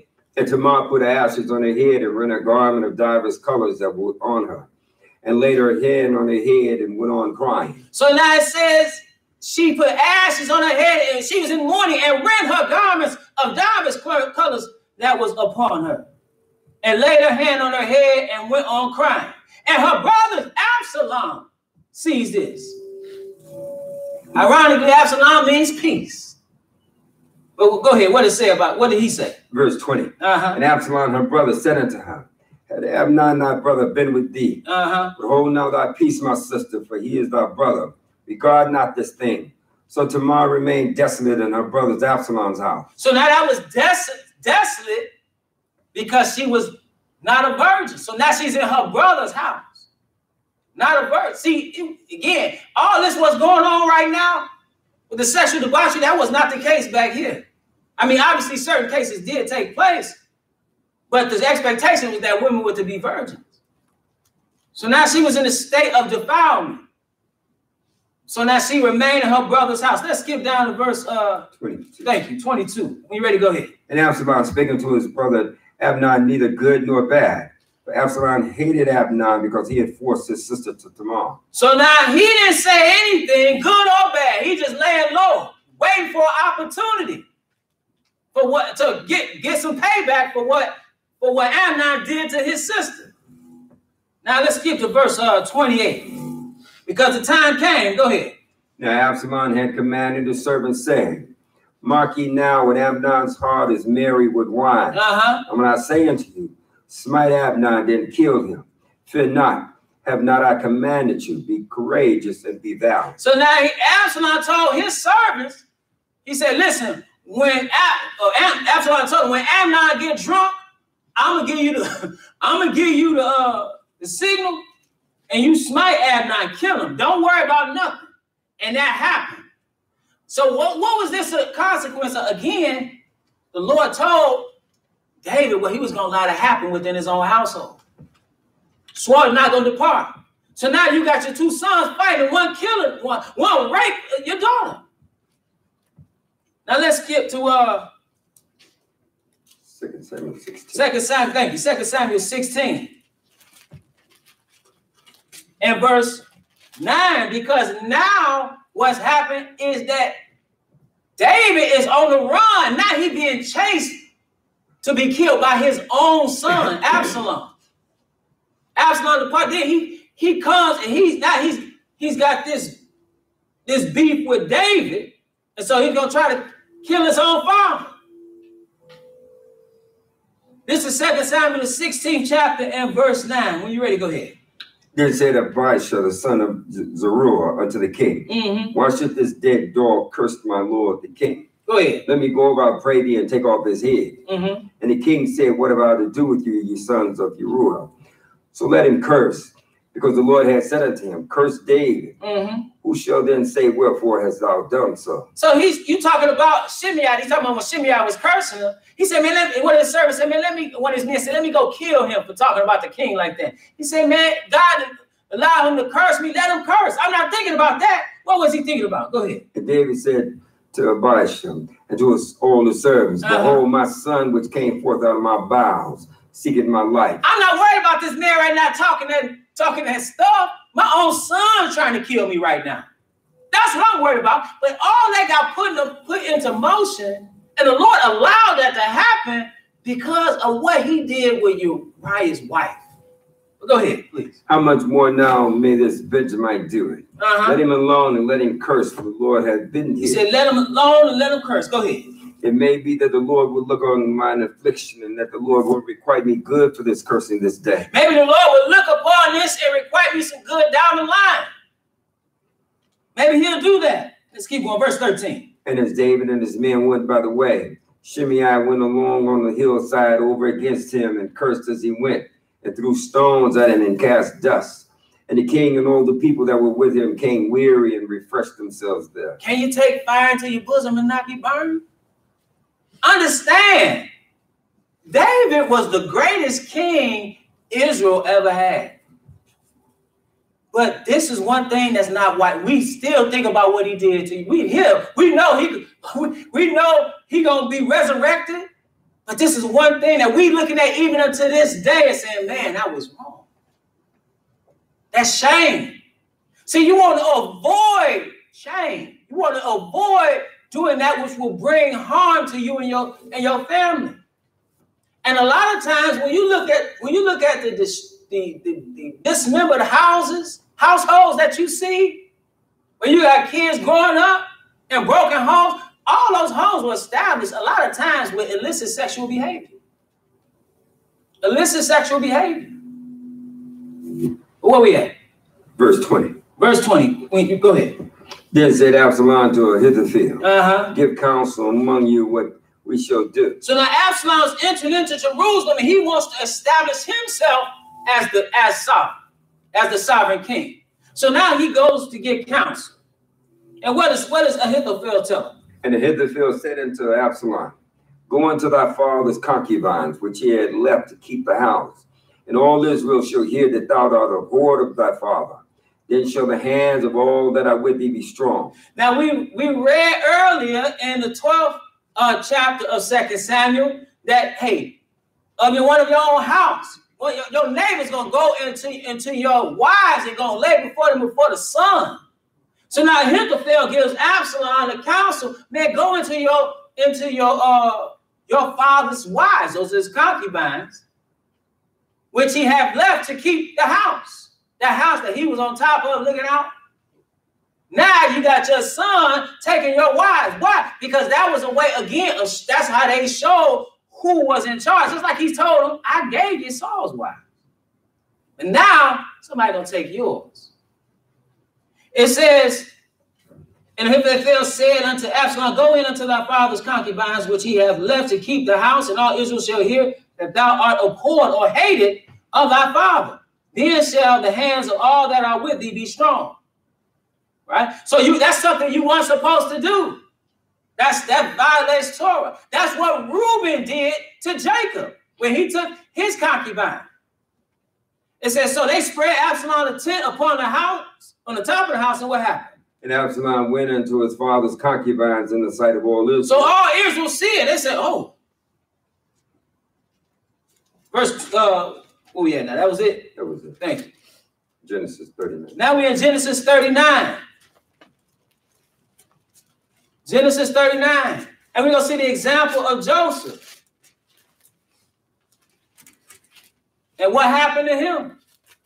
Genesis, the 39th chapter and verse 1. Genesis 39 verse 1. Because here, Joseph is in captivity in Egypt. He was brought by Potiphar and he rose to prominence amongst Potiphar because he was a benefit unto him. This is Genesis 39. We're going to see what happened to him. Genesis 31 and verse 1. When you ready, go ahead. And Joseph was brought down to Egypt, and Potiphar, an officer of Pharaoh, captain of the guard, an Egyptian, brought him on the hands of the Ishmaelites, which had brought him down thither. His brethren that were first going to kill him sold him to some Ishmaelites. They took him and sold him uh, in Egypt unto Potiphar. Go ahead, verse 2. And the Lord was with Joseph, and he was a prosperous man. Uh-huh. And he was in the house of his master, the Egyptian. And his master saw that the Lord was with him, and that the Lord made all that he did to prosper in his hand. Uh-huh. And Joseph found grace in his sight, and he served him. And he made him overseer over his house and all that he put in his hand. So now Joseph, again, this man's benefiting from Joseph. The Lord is with Joseph, so whatever he touching is prospering. So now it says in verse 5, and it came to pass from the time that he had made him overseer in his house and over all that he had, and the Lord blessed the Egyptian's house as Joseph said. And the blessing of the Lord was upon all that he had in the house and in the field. I'm in verse 6 now. It says, And he left all that he had in Joseph's hand and he knew not aught he had save the bread which he did eat. And Joseph was a goodly person and well favored. So he didn't have to worry about nothing because he had Joseph. So he, he said, oh, I'm, I'm not worried about what I'm about to eat because I know everything else is taken care of. In verse 7, what it say? And he gave the pass after these things that his master's wife cast her eyes upon Joseph, and she said, Lie with me. Now it said something about Joseph. It said he was a goodly person. That means handsome. So now Joseph was handsome and popular. So now he didn't caught the eye of uh, Potiphar's wife. And it says, and it came to pass after these things that the, his master's wife, that's talking about Potiphar's wife, cast her eyes upon Joseph, and she said, Lie with me. Verse 8. But he refused and said unto his master's wife. But Joseph wasn't trying to go that way. He refused and said unto his master's wife, What? Behold, my master, what is not what is with me in the house. Uh-huh. And he had committed all that he had into my hand. He said, Listen, the, the, my master has given me everything, committed every, I got control over all this. Go ahead. There is none greater in this house than I. I I'm, I'm none, nobody in this house is greater than I. Neither hath he kept back anything from me, but what? But thee. But thee. You're the only thing he didn't kept back from me. Because what? Because thou art his wife. Because you his wife. So he asked the question. Go ahead. How then can I do this great wickedness and sin against God? See, so so how can I do this great wickedness and sin against God? Because that's adultery. Even back here, it's adultery. It's a sin against God. So he said, How can I do this great wickedness and sin against God? Verse 10, it says, And it came to pass as she spake to Joseph day by day, that he hearkened not unto her to lie by her or to be with her. So day by day, he's in a he's in a compromising situation. Because this woman does have power because that's Potiphar's wife. But he's steady refusing. Verse 11. And it came to pass about this time that Joseph went into the house to do his business, Uh-huh. and there was none of the man of the house there with uh, within. So he went in the house. Now Joseph is Joseph is a man he in a vulnerable position. Just like Tamar was in a vulnerable position, Joseph go in and ain't nobody around. But this woman around in the house keep trying to lie with him. But now ain't nobody around. It wasn't Joseph's fault. Of course it wasn't Joseph's fault. And eventually this led to Israel uh, being saved in the long run. But it just to keep something in our mind about how we, even as men, how we conduct ourselves. So it says it came to pass about this time that Joseph went into the house to do his business. Nothing wrong with that. It said, and there was none of the men of the house there within. So nobody around, but what happened? Verse 12. And she caught him by his garment, saying, Lie with me. So, but she caught him by his garment and saying, Lie with me. Go ahead, what he do? And he left his garment in her hand and fled and got him out. He, he left Uh, his garment in her hand and fled and got him out. He said, I'm out of here. But what did she do? She lied on him. She had the garment in her hand and said and made false accusations and said he did this. He tried he tried to assault me and left this. And then he was thrown in prison. Why am I saying that now? Because look at what's going on right now. All it takes is an accusation for your career. You're a man for your career to be over. Now, I'm not saying in every case that didn't happen, but it's certainly case uh, that it did that it did happen. It's certainly cases where it didn't happen. So you have to keep in mind if you are in a vulnerable position, you don't want even a perception of evil. People were making fun of the vice president. He said, "I don't have meetings with other women unless my wife is in the room." People were making fun of him and mocking him. I think that's wise to do. I think that's wise to do. I was at work and uh, one somebody came and a supervisor or boss they, they said they want to talk to me. They was coming in with- my area. I said, no, we can do it right here. You can step out where everybody can see. They looked at me like I was crazy. I, hey, I'm not. You're not trying. I'm not trying to be no trick bag. But verse. Uh, let's go to. Uh, let's go to Job. Because see, just like Tamar wasn't trying to do anything, Joseph wasn't trying to do anything either. You have to keep in mind what other people might do. That's one of the hard things to explain to young people. You turn your mic off and turn it back on and see if that helps. That's a hard thing to, to explain to, yeah, I don't know what's wrong. Uh, with, to young people. They want to go out and do different things. I'm not going out to do anything, but you can't account for somebody else that's trying to assault you. You can't account for somebody else that's trying to slip something into your drink. And you out there again like a little lamb, ain't paying no attention. And the wolf out there. Job, the 31st chapter, we're going to pick it up at verse 1. Because adultery is something that the Lord doesn't want us to engage in. Again, he said, You got your own cistern. And Job when he's he's talking about himself and trying to justify himself, he says something about his own mindset. This is the same one who made sacrifices for his sons just in case they may have cursed gods in their mind. He did that continually. Let's see what he says about his way of thought. Uh, Job 31 and verse 1. When you ready, go ahead. I made a covenant with mine eye. Uh-huh. Why then shall I think upon a maid? He made a covenant or an agreement with his own eyes. He said, Why then should I look upon a maid? What is he talking about? He's talking about somebody else's wife. I'm not even, he didn't say I'm not going to commit adultery. He said, I'm not even going to be looking to lust after her. And then he says, verse 2, what he say? For what portion of God is there from above? Uh-huh. And what inheritance of the Almighty from on high? Uh-huh. Is not destruction to the wicked, and a strange punishment to the workers of iniquity. Isn't that what I'm a gift for doing if I do that? Right? Let's skip down to verse uh nine. What did he say? If mine heart had been deceived by a woman, See, he's justifying himself though, but he said, if my heart has been deceived by a woman, go ahead. or if I have laid wait at my neighbor's door, Or if I've laid wait at my neighbor's door, meaning trying to get at his woman. Go ahead. then let my wife grind upon another, and let others bow down upon her. He said, if I've done that, then let others do that to my wife. He said, I haven't done that. I done made an agreement with mine eyes that I'm not even going to look upon a woman and lust after her. Let's go to Matthew the fifth chapter because the, Lord puts forth the same, the same type of thinking here, showing us how we should think.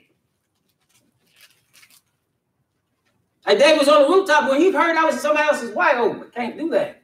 Or if you know that's somebody else's wife, you can't be lusting after somebody else's wife because, brothers and sisters, right here is where the battle was won and lost. It's up here in the mind. And the sort of place which is the mind, all these, these acts, fornication, adultery, murder, all of them, you had to think about that first. And then it manifests itself through your actions. So you have to control what you think about. And here, this is what the Lord tells us. This is Matthew the fifth chapter, verse 27. Matthew 5 and 27. When you're ready, go ahead. You have heard that it was said by them of old time, Uh-huh. Thou shalt not commit adultery. You read that in Exodus chapter 20. You read it, we said, Thou shalt not commit adultery. That's in the law. That's one of the Ten Commandments. Well, what did he say? Is he is he loosening the reins on the law? What did he say? But I say unto you, Uh-huh. that whosoever looketh on a woman to lust after her hath committed adultery with her already in his heart. He said, But I'm telling you, he who hath looked upon a woman to lust after her to commit adultery, or to look upon a woman to lust after her, have committed adultery with her already in his heart. He's talking about somebody else's wife. That's what he's talking about. And you shouldn't do that because, again, you keep thinking about that, keep thinking about that, keep thinking about that, and then you mess around and you get an opportunity to do that. Now you didn't commit adultery. But if you rejecting the thought, you're not going to do the action. That's why you have to change our way of thinking. Um, let's go back to Job. I should have told you hold your finger in Job. And let's go to uh chapter 24. Job, the 24th chapter. Because we want to look at a class of people here that Job describes in the 24th chapter. This is Job, the 24th chapter. And he's talking about the wicked here. Let's see this class of people here. Job 24, we're going to pick it up at verse 13. When you ready, go ahead. There are those that rebelled against the light. Uh-huh. They know not the ways thereof, nor abide in the paths thereof. So they, he, he talking about the wicked. He said they, they are those that rebel. It's like God seems almost indifferent, but he got those that rebel against the light. They know not the ways thereof, nor abide in the paths thereof. Go ahead. The murderer rising with the light killeth the poor and needy, and in the night is as a thief. So in their own darkness, in spiritual darkness, and just ignorance of how to to uh to operate and behave in the literal darkness. It said a murderer rising with the light killeth the poor and needy, and the night in the night is as a thief. So you got the murderer and you got the thief. Who else you got? Verse 15. Mm-hmm. The eye also of the adulterer waited for the twilight. You got the one that's waiting at his at his at his neighbor's door. You got the adulterer. The eye also of the adulterer. He waited for the twilight, saying what? No eye shall see me and disguised his face. Nobody gonna see me. I was talking about coming out the Motel Six. Nobody gonna see me coming out here. He puts all them together: the murderer, the thief, and the adulterer. The eye also of the adulterer waited for the twilight, saying, "No eye shall see me," and disguising his face. That's what he does. Verse 15. Verse 16. 16, thank you. In the dark they dig through houses which they have marked for themselves in the daytime. Uh-huh. They know not the light. Go ahead. For the morning is to them even as the shadow of death. If one know them, they're in the terrors of the shadow of death. They doing all that stuff in the dark. Again, one thing about it, he put them all together: thief, murder, and adultery. One thing about it, it'll come to light. It will come to light. Let's go to uh New Testament, First Corinthians. Let's look at another another class of people. First Corinthians.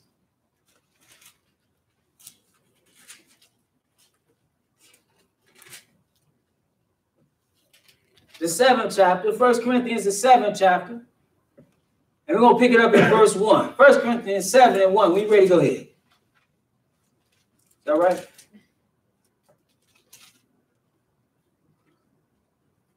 First Corinthians 7 and 1. We ready? To go ahead. Now concerning the things whereof ye wrote unto me, it is good for a man not to touch a woman. So now this is Paul here. He's talking, he's saying it's good for a man not to touch a woman. But as Jesus tells us, everybody ain't got that gift. What he's talking about is being a self-made eunuch for the kingdom of, kingdom of God's sake. That's what Paul was. Paul didn't have a wife. He was dealing with the word of God. He's establishing churches throughout, throughout Europe and Asia. He's doing the work of the Lord, spreading the gospel. He said, he, so he says good not to have a wife, but clearly everybody can't do that. He said, now concerning the things whereof we, you, you wrote unto me, it is good for a man not to touch a wife. That's not law. Okay. So, but you can be celibate, but everybody can't do that. And he says something here in verse 2. Verse 2. Nevertheless, to avoid fornication, let every man have his own wife, and let every woman have her own husband. He said, nevertheless, avoid fornication, because that's what will happen if you can't, if you can't uh, sustain, uh, uh, discipline yourself in that regard. He said to avoid fornication or porneia. What's that? That's the Greek word porneia. That's where fornication come from. It's illicit sexual behavior, and that's a large umbrella. A lot of things fall under that umbrella. You talking about adultery? You talking about just having sex with people not married? all homosexual, all that, all that's fornication. Nevertheless, to avoid fornication, let it say, let every man have his own wife, and let every woman have her own husband. So here we see another class, fornicators. In general, it's just talking about people not, who are not in a, in a marital union having sex. Nevertheless, to avoid fornication, let every man have his own wife, and let every woman have her own husband. It go right back to being married. Go right back to the institution that he made in the beginning. Verse 3. Let the husband render unto the wife due benevolence, uh-huh. and likewise also the wife unto the husband. So when he said, do, give her her due, let the husband render unto the wife her due, and likewise also the wife unto the husband. So whatever you do unto your wife, meaning do what you owe, give it, and vice versa. Then it says, verse 4, go ahead. The wife have not power of her own body, but, it but said, the husband. But it said, a wife have not power of her own body, but the husband. And what? And likewise, also the husband have not power of his own body, but the wife. So he so understand. When it comes to sexual intimacy, he said the wife have not power of her own body, but the husband, and, and vice versa. And likewise, also the husband have not power of his own body, but the wife. Then he said something. What shouldn't you do? Verse 5. Defraud ye not one or the other, except it be with consent for a time. So he said, refrain. Now we read what Solomon was like, always be ravished with the wife, with your wife's love, right? But it said, defraud ye not one another. So Paul is telling you a similar thing. He said, man, don't refrain from uh, sexual intimacy from your spouse, except it be with consent for a time. Don't continue to, don't do that. He said that ye may give yourselves to fasting and prayer. So maybe y'all fasting and prayer, maybe y'all focusing on the Lord. That's fine to do it then, but don't continue to do that. Because what can happen?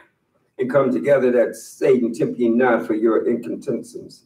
So he said, y'all better come together again that Satan tempts you not for your incontinency or your lack of self-control. You see that uh, oftentimes, you see it more so with women than men, that women will try to control a man by, by depriving him of sex. That's what they would do. Oh, you don't want to do this? Well, you ain't getting any. You don't want to do this, or you're going to be on the couch. I understand how a man on the couch in his own house, but nevertheless, you see that. Like I tell the story of my, my family member, that happened to him. He was married, his she moved her mother in, got to meddling into their situation. You want to control him? Don't give him any. That was the advice that she gave. It went years that they weren't intimate. He wasn't intimate with her. He certainly was intimate with somebody else, though, while they was married. And that marriage dissolved. You shouldn't do that. Because the reality is, is that we are sexual creatures. That's the reality. We all sitting here. Somebody was doing something. We all got here. Somebody did something. So that shows you we sexual creatures, but it's supposed to be within the confines of marriage. And within those marriages, you don't want to deprive somebody of something that you know, that they quite frankly need. That's what it is. We were built in a certain way, and we were built that way so that we can fulfill that mandate, be fruitful and multiply. But it says, that's but uh we're in verse 6. Verse 6. Thank you. But I speak this by permission and not a commandment. Go ahead. For I would that all men were even as I myself. That's not a commandment, that's permission. He said, man, be like me. Be like me, you know, no wife. But I speak this by permission and not a commandment. For I would that all men were even as I myself. But he said, what? But every man had his proper gift of God. Every man got his proper gift of God. Everybody don't have that gift. You see them Catholic priests, everybody don't have that gift. We celebrate, but they sleep with the nuns, they sleep with the kids, they doing all kind of stuff. Why? Because you weren't supposed to do that. That's not, first of all, obviously the religion is, is bogus and false, but you're not supposed to be just be everybody can't do that, just be celibate. No. Every man had this proper gift of God, one after this manner, and another after that. Verse 8. I say therefore to the unmarried and widows, it is good for them if they abide even as I. So the unmarried and unmarried uh, virgins and the widows, indeed, it's good if you abide even as I, if you be celibate. That's good. But what? But if they cannot contain, meaning if you can't, if you can't contain, what should you do? Let them marry. Why? It is better to marry than to burn. It'd be better for you to get married than to burn in hell. Because marriage is honorable. That's honorable.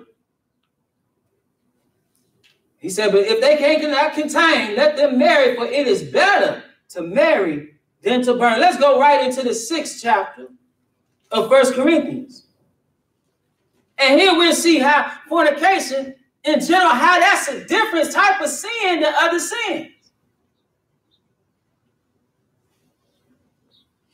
This is uh First Corinthians, the sixth chapter, and verse 13. So we should understand that we shouldn't be engaged in that. If we're the people of God, we shouldn't be engaged. Now, this First Corinthians, the sixth chapter, and verse 13. When you ready, to go ahead. Meats for the belly and the belly for meat. Uh-huh. But God shall destroy both it and them.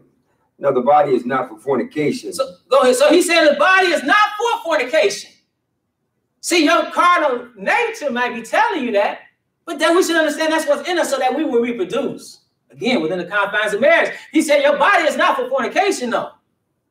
But it's for, for what? But for the Lord and the Lord for the body. He said, but for the Lord. Verse 14.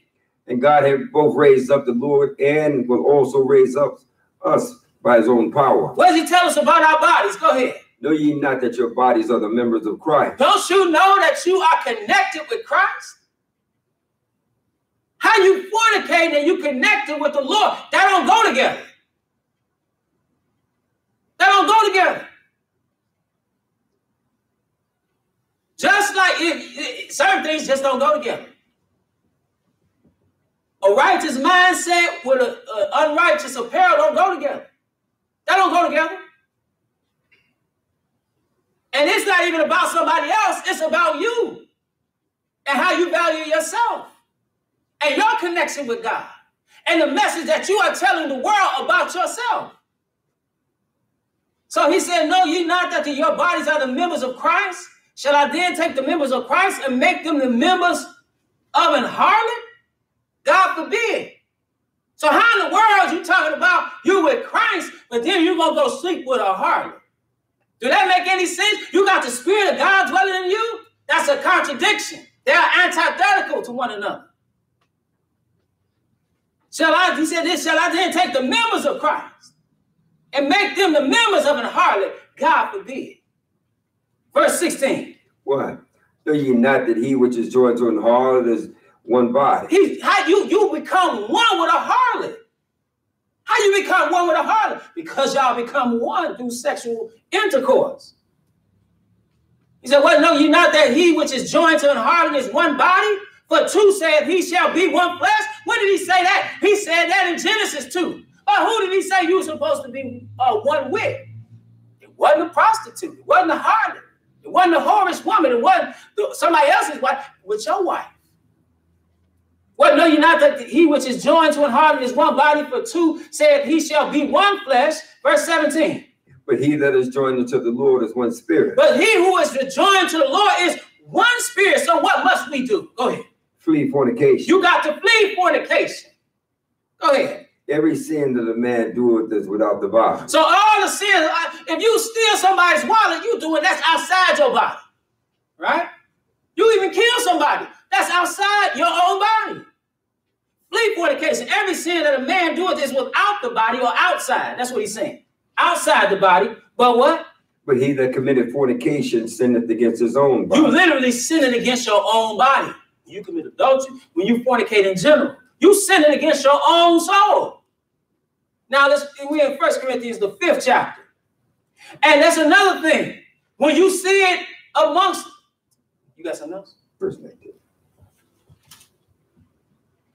Oh, yeah, thank you. Verse 19. Thank you very much. Go ahead. What? Know ye not that your body is a temple of the Holy Ghost, which is in you? Thank you. Don't you know what you are? You are dwelling for the temple, you're dwelling for the Holy Ghost. What know you not that your body is the temple of the Holy Ghost? Holy Ghost dealing with your mind. It said, which is in you, which ye have of God, and ye are not your own. You're not your own. Just like a man who wanted to, to uh, marry a woman, he had to come with a dowry. He might come with a bride price. Verse 20. For ye have bought with a price. He bought you with a price. What he do? He shed his blood. He shed his blood so, so that we would have an opportunity to be saved. So once we come up under his blood, once we are baptized and come up a new creature, we got to walk in the right way. We can't do the things we used to do.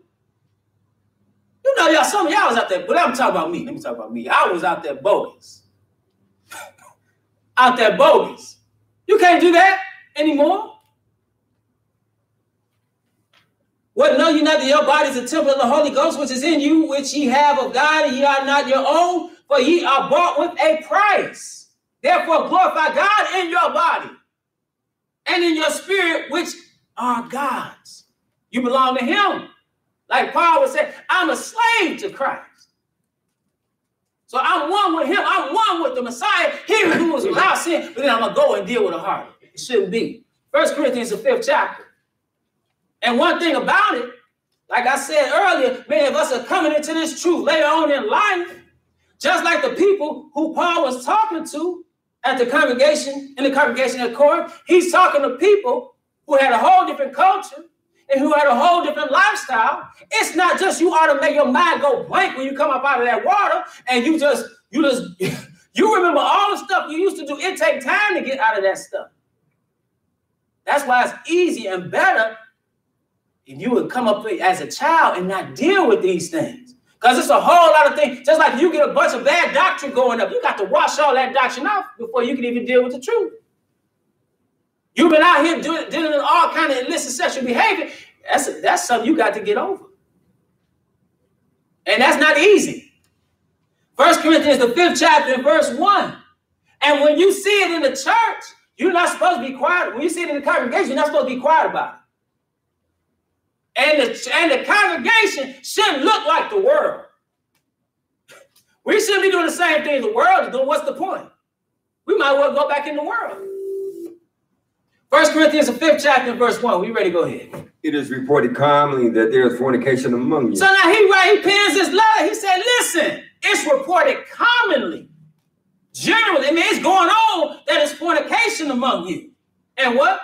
and such fornication as is not so much as named among the Gentiles. Uh-huh. That one should have his father's wife. It's fornication going on that one should even have his father's wife. So he's dealing with his stepmom. That's what he's talking about. He said, man, y'all a bunch of fornicators. And you got even a man dealing with his own stepmother. What do you tell them about themselves? Go ahead. And ye are puffed up and is not rather mourned that he that had done this deed might be taken away from among you. He said, You puffed up and have not rather mourned. You are indifferent to evil. You cannot be indifferent to evil. You have to call out evil. That's the man of God, because this pastor, preacher, teacher, that's his job to tell you, to warn you, so you're not destroyed in your sin. And ye are puffed up and have not rather mourned that he that have done this deed might be taken away from among you. In the old days, they were stoned. You got to address sin. Verse 3.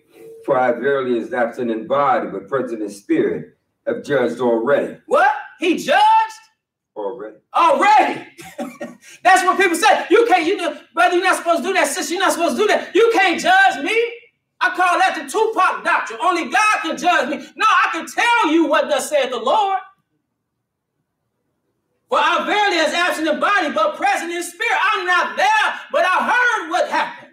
And I took that and applied it and compared it to what God said you should do and have judged. He said, For I verily is absent in body, but present in spirit, have judged already, as though I were present, as if I was there in the flesh, concerning him that has so done this, this deed. I'm going to tell you about him. I've judged him already. Verse 4 in the name of our Lord Jesus Christ. Uh-huh. When ye are gathered together, and my spirit with the power of our Lord Jesus Christ, uh-huh. to deliver such as one unto Satan for the destruction of the flesh, that the spirit may be saved in the day of the Lord Jesus. You got to deliver one such and one unto save for the destruction. You got to cast him out. Sometimes people can be restored. Other times you got to show them the door. Why? Because if you don't, you are giving a message to the rest of the people. What's the message? Oh, I can do it too. I work with kids. Be with some kids and one doing something and you don't address it, then another doing something. You know, you and you talk to him. He said, but you let him do it. Why are you talking to me? He getting away with it. You got to address it. You got to address it and can't be scared to address it. Hurt somebody's feelings? Oh well. Or some people might leave. Oh well, get out. Go. But we want a big crowd, man. I, I want to be saved. That's what I want. That's why it's not, it's not a smooth message. It's a much smoother message to say the Lord loves you. You can do whatever you want to do. Just believe on Him. It'll be all right. And that's that's what they. That's no standard at all. You got to have a standard. You got to have a standard. Let's get down to verse uh. Thank you, verse nine. Because what did he tell him? Go ahead. I wrote unto you in an epistle not to company with fornicators. Now I told you not to company with fornicators. Now is he talking about in the church? Go ahead. Yet not all together with the fornicators of fornicators of this world, or with the covetous, or extortioners, or with idolaters. But then must ye needs go out of the world. So he's telling you, I'm not talking about outside the world because you're surrounded by fornicators. You're on your job surrounded by people who doing all kind of illicit things all kind of sin. That's that's you say you get rid of them. You got to go outside the world. You got to leave the planet. You don't want to be around some people that sin. Better get on a spaceship when you gonna go to Mars. Because when people get there, they're gonna be sinning. you if you leave this, if you leave this uh, planet and go to Mars, if you could do that, and some people follow you, you got sin.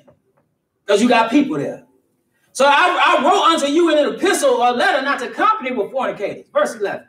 But now I've written unto you not to keep company of any man that is called a brother, uh-huh. be a fornicator, or covetous, or an idolater, or a railer, or a drunkard, or extortioner, which such as one know not to eat. So he's telling you, you can't, you can't, that shouldn't be going on within the congregation. And again, as I stated earlier, it's, it's time you can restore people. But one thing about it, you can't just allow things to continue, continue on. Every man sleep with his stepmother. Everybody know, ain't nobody said nothing. And you know what's going on? Now that shouldn't be. Verse 12. What have I to do to judge them also that are without? Do not ye judge them that are within. Judgment start at the house of the Lord. You got to start within. That's just like us. We have to start with our, before we start talking about even at the world, really we should look at what we're doing. We should look at ourselves. He said, "For what have I to judge them that are without?" So I'm judging those that don't, that ain't following the gospel, and not judging those that's within. But then that are without, God judges. I'm gonna leave that to the Lord. Therefore, put away from among yourselves that wicked person. Put away from among yourselves that wicked person. Let's go to uh, Leviticus Because he set them apart. He's telling they should be dealing in fornication. Now the law also set Israel apart and tells them all types of sexual behavior that they shouldn't be engaged in. Leviticus the 11th chapter, 18th chapter. Leviticus the 18th chapter, we're gonna pick it up at verse uh verse 1. Because he tells you earlier, you can't be like the world. Well, when he brought Israel out of bondage, he told them a similar thing. You can't be like the world. You can't be like these other people. Leviticus 18, chapter, verse 1. We ready? Go ahead. And the Lord spake unto Moses, saying, Uh-huh. Speak unto the children of Israel, and say unto them, Go ahead. I am the Lord your God. After the doing of the land of Egypt wherein ye dwelt, shall ye not do. You can't do what everybody else is doing. You look out in the world, everything that's going on, everything people do. We can't be like them. Why? Because he bought us with a price. We belong to him. He says, after the doings of the land of Egypt, wherein ye dwelt, shall ye not do it. After the doings of, of the land of Canaan, whither I bring you, shall ye not do. Neither shall ye walk in their ordinances. Verse 6. When you ready to go ahead, because now he's going to tell you about all the sexual behavior that you cannot engage in. Leviticus 18 and 6. When you ready to go ahead. None of you should approach any that is near kin to him. So you can't don't approach anybody that's related to you close. He said near of kin. That's close relatives.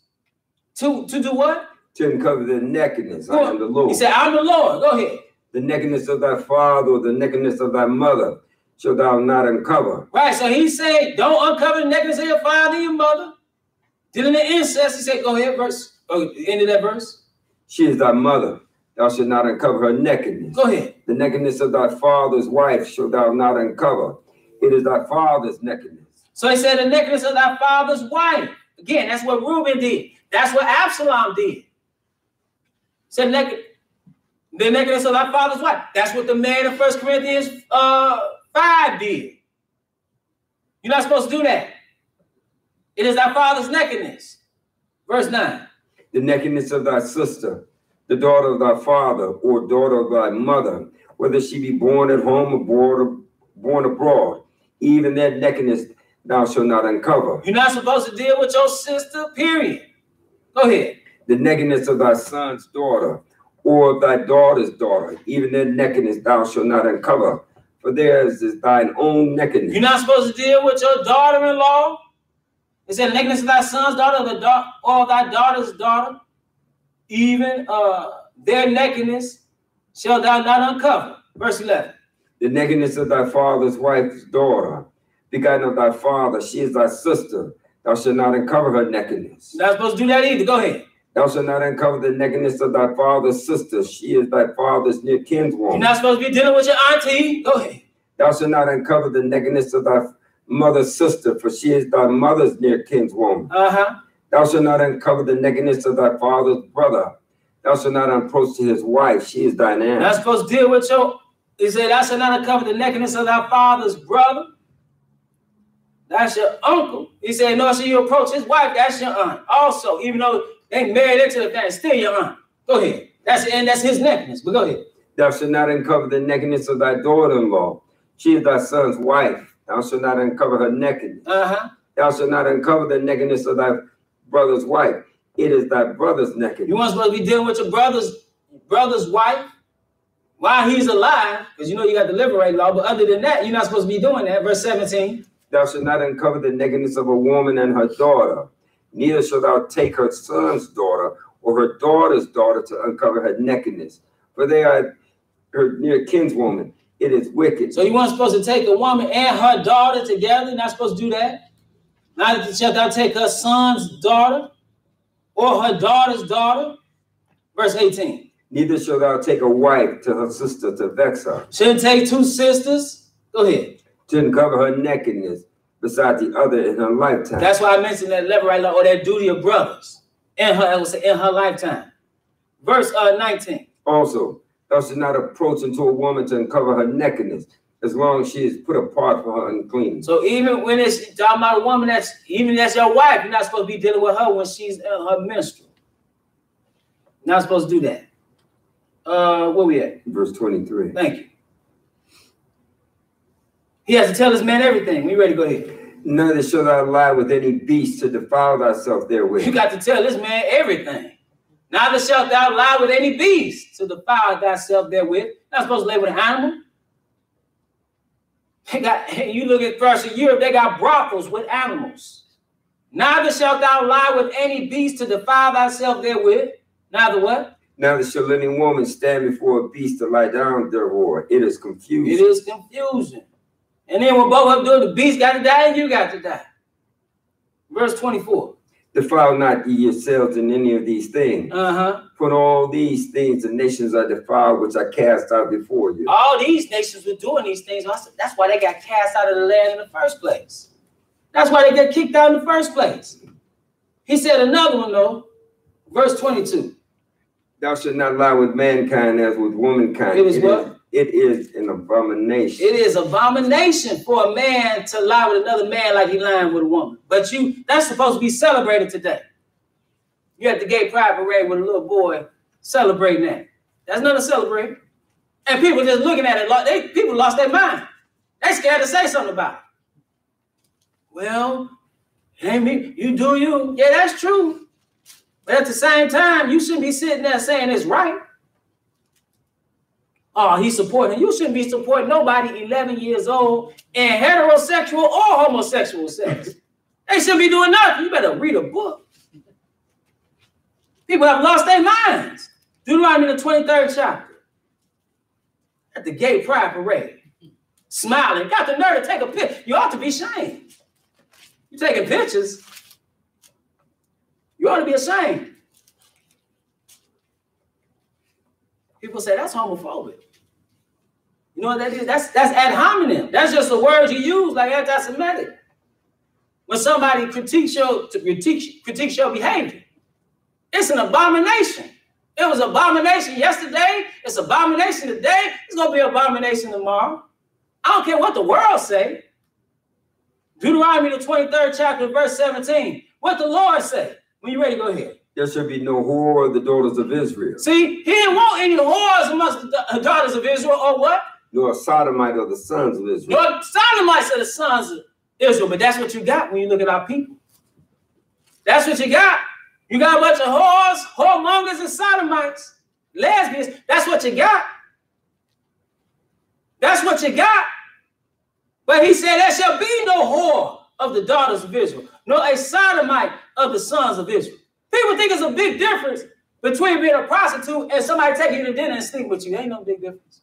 You done prostituted yourself. You look at her on the street, you leave leaving McDonald's, going to somebody's house, same thing. Deuteronomy 22nd chapter. So he didn't want this. No sodomy. Let's let's see something else here. Uh, we're gonna read one verse here, verse 5. Deuteronomy 22 and 5. When you ready, go ahead. The woman shall not wear that which pertaineth unto a man. Uh-huh. Neither shall a man put on a woman's garment, for all that do so are abomination unto the Lord thy God. I'm gonna read that because even today you got the issue of transgenderism. He said, you don't wear something if you're a, a man that's pertaining to a woman, because he has distinct, clear roles and sexes for both male and female. So let's start with this, then it go into other things that people will do, trying to be the opposite sex. Oh, that's going on up here. And the Lord's telling you you shouldn't do it. If you're a man and you think you're a woman, you have something going on mentally. That's just like if you're a man going after going after other men, that's something going on mentally. There's no, there's no, there's no uh science saying that that's what you should do or that you were born that way. That's like the, the boy, he came to school, he said, I'm trans penguin. And he wearing a penguin suit every day. And, and, and he, he recorded, it's on YouTube, he recorded a, a, a, video of him talking to the administrators. They was they were trying to plead with him. Well, you can wear the penguin suit, but can you please just take off the, the head because it's a distraction. But he walking around in a penguin suit. But how you gonna say something to him? You got people, you got boys walking around in dresses. He said he a penguin. What you gonna do? They should have said, man, you better, you got five minutes to get in some regular clothes. But they can't do that in the public school because everything, Everything go now. You got in Virginia where they got uh, it was in Virginia. I know it's in California. It's another state where they got mandatory homosexual curriculum. They teaching the babies. They got they got uh trans folk coming in there to read kids stories. Let me read you about two dads. Romans 1. The whole world is going after some foolishness. And understand, I'm not I'm not up here talking like I'm, I'm saying, oh, it's gonna get back right. I'm not talking up here like, oh, we, you know, this, this battle lost. I'm gonna still tell you about yourself. I'm gonna still tell you. Got to. Romans 1 and verse 18. What the book say? For the wrath of God is revealed from heaven against all ungodliness and unrighteousness of men, all the truth and unrighteousness. So the whole world, brothers and sisters, is guilty. For the wrath of God is revealed from heaven against all ungodliness and unrighteousness of men who hold the truth in unrighteousness. What truth do they hold? Verse 19. Because that which may be known of God is manifest in them, for God has showed it unto them. He showed them something. All mankind. There's been a universal revelation of God to man. You know man exists. How do you know? Verse 20. For the invisible things of him from the creation of the world are clearly seen, Mhm. being understood by the things that are made. He's revealed himself through his creation. See, for all the pseudoscience that people come up with trying to explain our existence, the reality is, is the creation testifies of the existence of God. The heavens declare the glory of God. The firmament show of his handiwork. The sun shows you that there's a God. So you know there's a God. So once you know that there's a God, your next logical step is trying to find out what that God requires of me to do. There's something bigger than you and I. There's something bigger than the lust that we have within ourselves. And that is to do the will of God. That's why I said, what, what's the, the whole duty of man is to fear God and keep his commandments. How could that be? Because it's somebody bigger than you. For the invisible things of him from the creation of the world are clearly seen, being understood by the things that are made, even his what? Even his eternal power and Godhead, so that they are without excuse. Ain't no excuse. I didn't know. Why weren't you trying to find out? You trying to find out everything else. You want to make some money, you're going to try to find out how to do the stock market, how to buy some real estate. You want to win that pinochle, you on YouTube. But you ain't trying to get salvation. You ain't trying to find out what this guy who did all this, who you are made in the image and the likeness of, requires. That's, that's your fault. You don't have an excuse. Verse 21. Because that wouldn't they knew God, When they knew God, they what? they glorified him not as God, They didn't glorify him as God, neither what? neither were thankful, but became vain in their imaginations, and their foolish heart was dark. Their foolish heart and their mind was dark, and now you in darkness. Professing themselves to be wise. They think they're wise in their in their philosophy, in their thoughts, in their paradigms. Professing themselves to be wise, they became what? Fool. Fools. And what did these fools do? He's talking about humanity throughout the course of human history. What has man done? Verse 23. and changed the glory of the uncorruptible God into an image made like to corruptible man, into birds and four-footed beasts and creeping things. So now what they've done is they've changed the glory of the uncorruptible God into an image. They made idols. So when you make, I he tell you, don't do that. But when you make an idol, if you can make a God, you know what else you can make? The standards of that God. You can make the shape the God, even though it's not God, in your foolish mind. What you doing? Oh, I'm, I'm making a God. Wouldn't you be God if you making a God? Or can you even make a God? You can't make a God. That don't make no sense. But that's what people have done. They making a God, and then they have put upon that God their own standards of morality. Not what his Torah, what his law says, but what they say. So that's that now, now God becomes whatever you say. And he accepts whatever you say. But the reality is that he has his own standard of morality. It says, and change the glory of the uncorruptible God into an image made like to corruptible man and to birds and four-footed beasts and creeping things. Verse 24. Wherefore God also gave them up to uncleanness through the lust of their own hearts, to dishonor their own bodies between themselves. So what's the result of this? You have denied God. So, in denying God, you have denied morality. That's why you have moral relativism and nihilism today because you have put God by the wayside and you've come up with your own standard, and your standard is based on your wretched carnal state. And the Lord would allow you to do that. He will leave you to your own devices. You turn your back on Him, He'll turn His back on you. And say, now see, hey, look at you say, now see who this gonna hurt, me and you. It's gonna hurt you.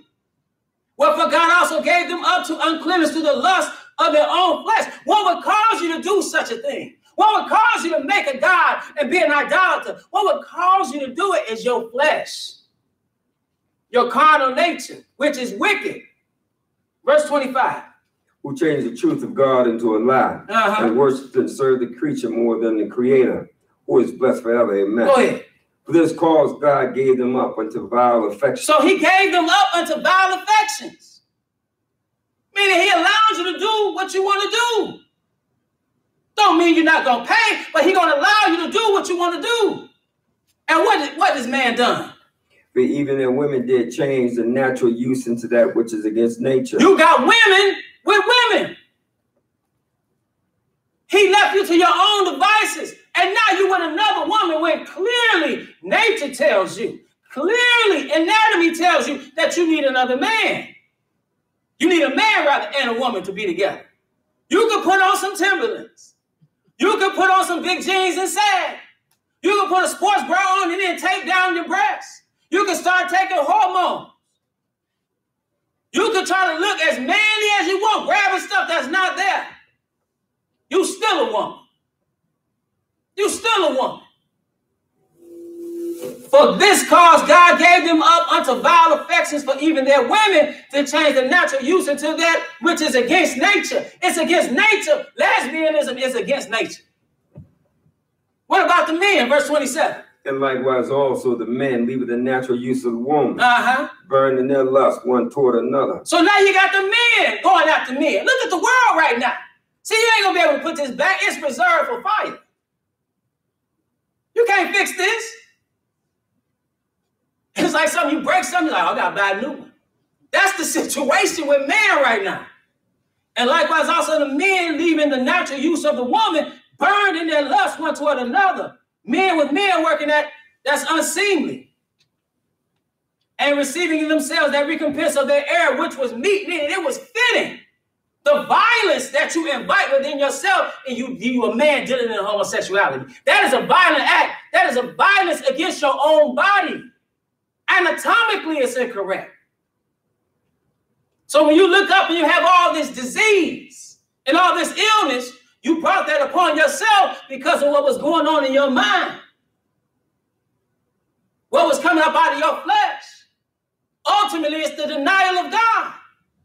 Because when you engage in this sin, you say it ain't no God. Or it ain't no God I'm concerned with. You stick with a man, you can't, and, and that's another thing. God loves gay people, or homosexuals or adulterers. Where you see that at? Where you see that at? What Bible verse is that? What they they actually are purporting that in a lot of churches. Was it the what church was it that they had a big thing? They was about to have a break, and they was voting on whether they could have gay clergy, getting married and, and acknowledging the marriages. Y'all might as well pack that church up and everybody just leave. What are y'all doing? That ain't that ain't the work of God. He clearly telling you that's abomination. So it says, and likewise also the men leaving the natural use of the woman, burning their lust one toward another, men with men working that which is unseemly, and receiving in themselves that recompense of their error, which was meet. But you look on TV and you look at look everywhere, and they are promoting that agenda. So the, the older people here, even myself, they know that we ain't really going for that. But they got these kids. They got the babies. They for that. They got the children. They got to, and that's what they wanted. They wanted the babies, they got them. So when you look up and, and your son is skinny jeans and he, he don't know what to do himself, a lot of that is the social engineering that he's receiving in school, receiving through the media, receiving everywhere. Now it's even in the curriculums. But it's an abomination. Verse 29. Verse 28. 28, thank you. And even as they did not like to retain God in the knowledge, God gave them over to a reprobate mind to do those things which are not convenient. So now you got a, a mind of a reprobate to do those things which is not, that are not convenient. That's your state. Let's go to Jude. See, like I said, brothers and sisters, we need to take heed to what the Bible said. The Bible's not just good reading, the Bible's telling you what's about to happen.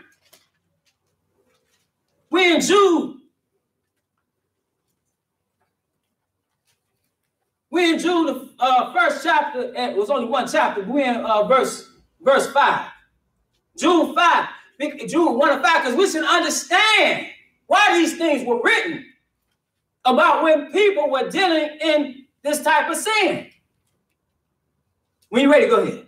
I will therefore put you in remembrance that you once knew this. Uh-huh. How that the Lord, having saved the people out of the land of Egypt, afterward destroyed them that believed not. So we should understand these examples of unbelief and the denial of God. He saved the people, and when they sinned against him, he kicked them out of the land. You can't just do what you want to do with this guy. You better show some reverence. I'm going to put you in remembrance. I'm going to remind you of how he saved the people of the land after we destroyed them that believed not. They died in the wilderness.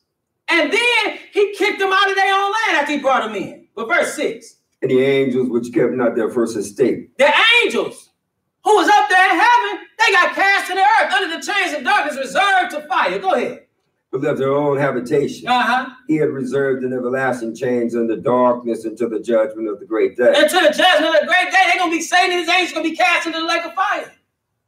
That's why when the, when the Lord came to that one who had a familiar spirit, he said, Has thou come to torment us before the time? He know he got he got but a short time. And who else? Verse 7. Even as Sodom and Gomorrah uh-huh. and the cities about them in like manner giving themselves over to fornication and going after strange flesh. What were they doing in, in, in Sodom and Gomorrah? Fornication, going after strange flesh. Let us bring those men out that we may know them. They were talking about the angels. They know they was angels. And what happened? Go ahead. Are set forth for an example, suffering the vengeance of eternal fire. See, that's an example. He rained down fire and brimstone on Sodom and Gomorrah. That's what he's going to do to the whole world when he returns. Why? Look at it. Look at it. It's worthy to be burned. Luke the 17th chapter. And that's what he's going to do.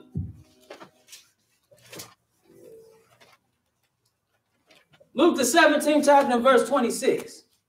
Luke 17 and verse 26. When you ready, go ahead. And as it was in the days of Noah, so shall it be also in the days of the Son of Man. What happened? They did eat, they drank, they married wives, they were given in marriage until the day that Noah entered into the ark and the flood came and destroyed them all. See, they were going about their daily lives. People going about, they delivering mail. People going about their daily life. They shopping down there. They riding dirt bikes. They doing everything they want to do. And they're not worried about what's about to happen. He says, they didn't eat, they drank, they married, they were given in marriage until the day that Noah entered into the ark. Noah was a picture of righteousness for warning them about what was to come. But notice, did nobody get on that ark but him and his wife and his sons and their wives. Eight souls were saved. Relatively speaking, that's how it's going to be when the Lord returns. Where it says the earth is going to be burned, a few men left.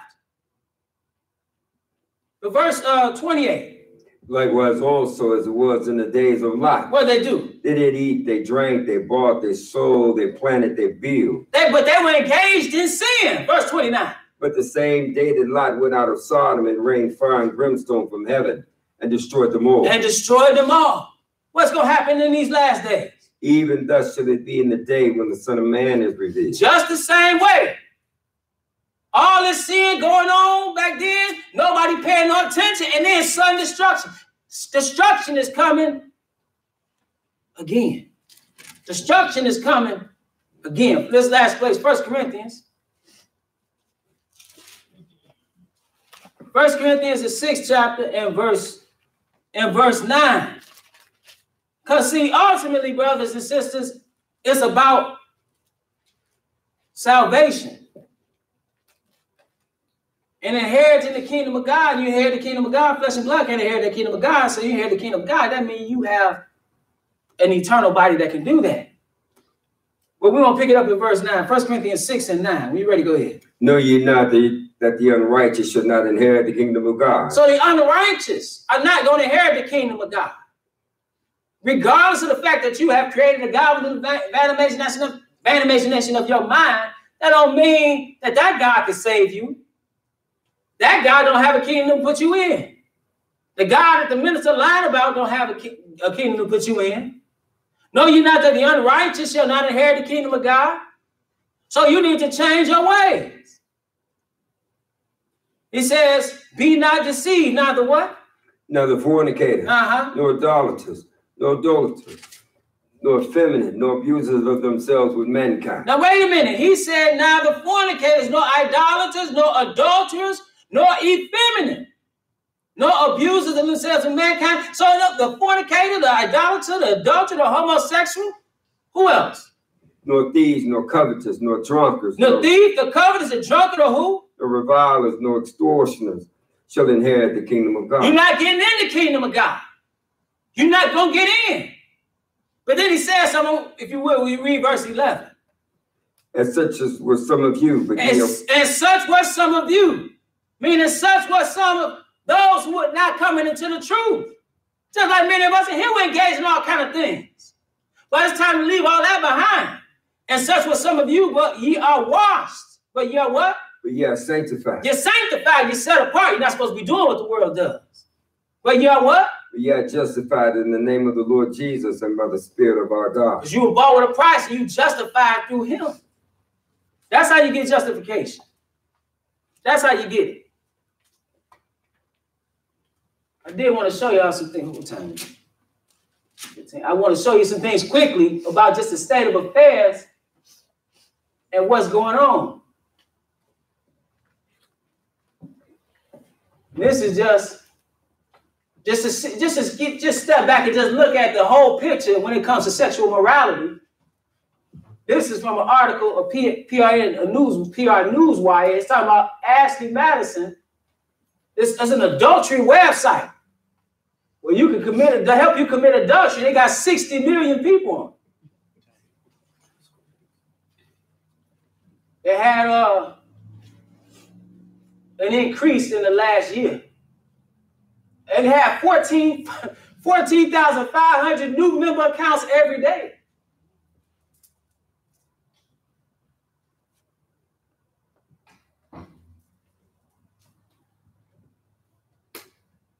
Out of wedlock births. We're talking about illicit sexual behavior. Having out of wedlock births, these are all kind of things that you don't want. Poverty, lack of education, abuse.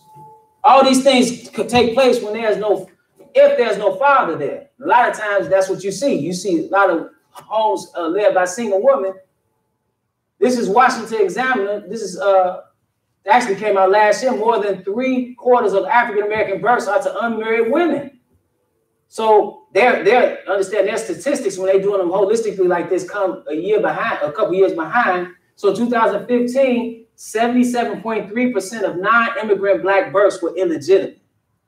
See, that's what we're producing. Illegitimate children. STDs. Uh, this came out uh in August August 28th. This is from a CNN article. Rates of syphilis, gonorrhea, and chlamydia have climbed for the fourth consecutive year in the United States. The Center for Disease Control Prevention announced Tuesday at the National STD Prevention Conference. You want a conference on how to prevent it, you come up with, well, maybe we need some prophylactics. Maybe we need uh, sex ed in schools. Now, what you need to do is have some morality. Last year, nearly 2.3 million U.S. cases of these sexually transmitted diseases were diagnosed.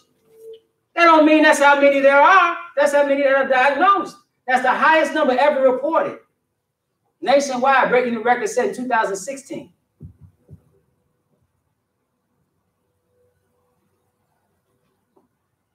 This is just something, again, dealing with you got illicit sexual behavior. So you got all these children that are born out of wedlock, and then you got a bunch of children that are not born at all. This says in 2016, as in previous years, more African American babies were aborted than were born alive in New York City. Out of the 47,718 total, total reported pregnancies experienced by non-Hispanic black women, almost half, 49%, ended in abortion, while 4% ended in miscarriage, and only 47% ended in live births.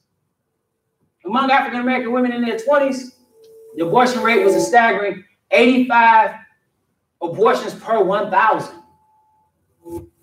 By contrast, Asian and Pacific Island women overall had the lowest, ending in abortion. 13% of Asian and Pacific Islander women in their 20s had an abortion rate of 15.5 abortions per 1,000. This is from CNS News Transmania. You see that today. This is from a, feminist author. She said something about what's happening here.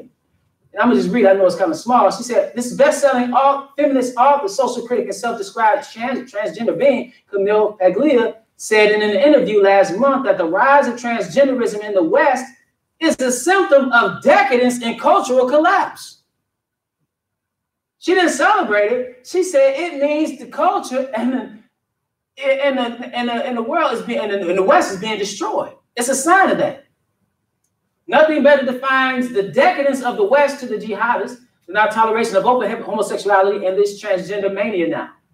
She said that on TV in Brazil. Then she says, uh, what says Paglia also said during the interview that transgender propagandists are overstating their case. I think that the transgender propagandists make wildly inflated claims about the multiplicity, multiplicity of gender. So in other words, she's saying you got you don't have all these genders. You look at what is it, Facebook, you got 20 things you can be. But the Lord said you got male and female. Nevertheless, it says sex reassignment surgery, even today with all of its advances, cannot in fact change anyone's sex. You can't do that. Okay, you cut off, add, they don't change what you are. You can define yourself as a trans man or a trans woman as one of these uh, new gradations along the scale, but ultimately every single cell in the human body, the DNA in that cell remains coded for your biological birth. It's the last one. Consequences of homosexuality. Black African American gay and bisexual men are more affected by HIV than any other group in the United States. In 2017, African American gay and bisexual men accounted for 26% of the 30, 38,739 new HIV diagnoses and 37% of new diagnoses among all gay and bisexual men in the United States in dependent areas. So those are the consequences, or just some of the consequences for that behavior. And that's sexual morality according to the Bible. So it's my prayer that you will edify. In fact, we're going to stand up, we're going to face Jerusalem and close out.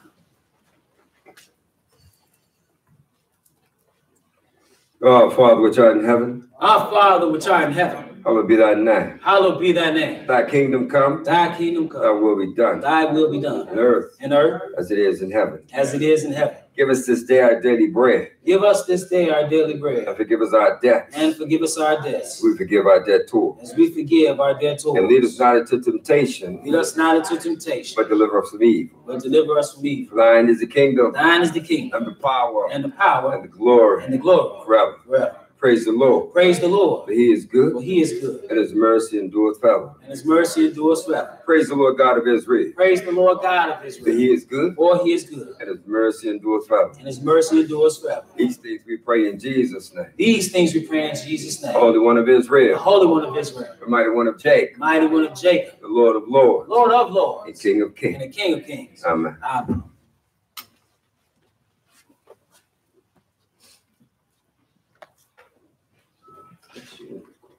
What? That's your one. No. Why you say that? It was only happening when you was talking. No, it's you. Because it's rubber. No. You think so? Yeah, no. Cut it off.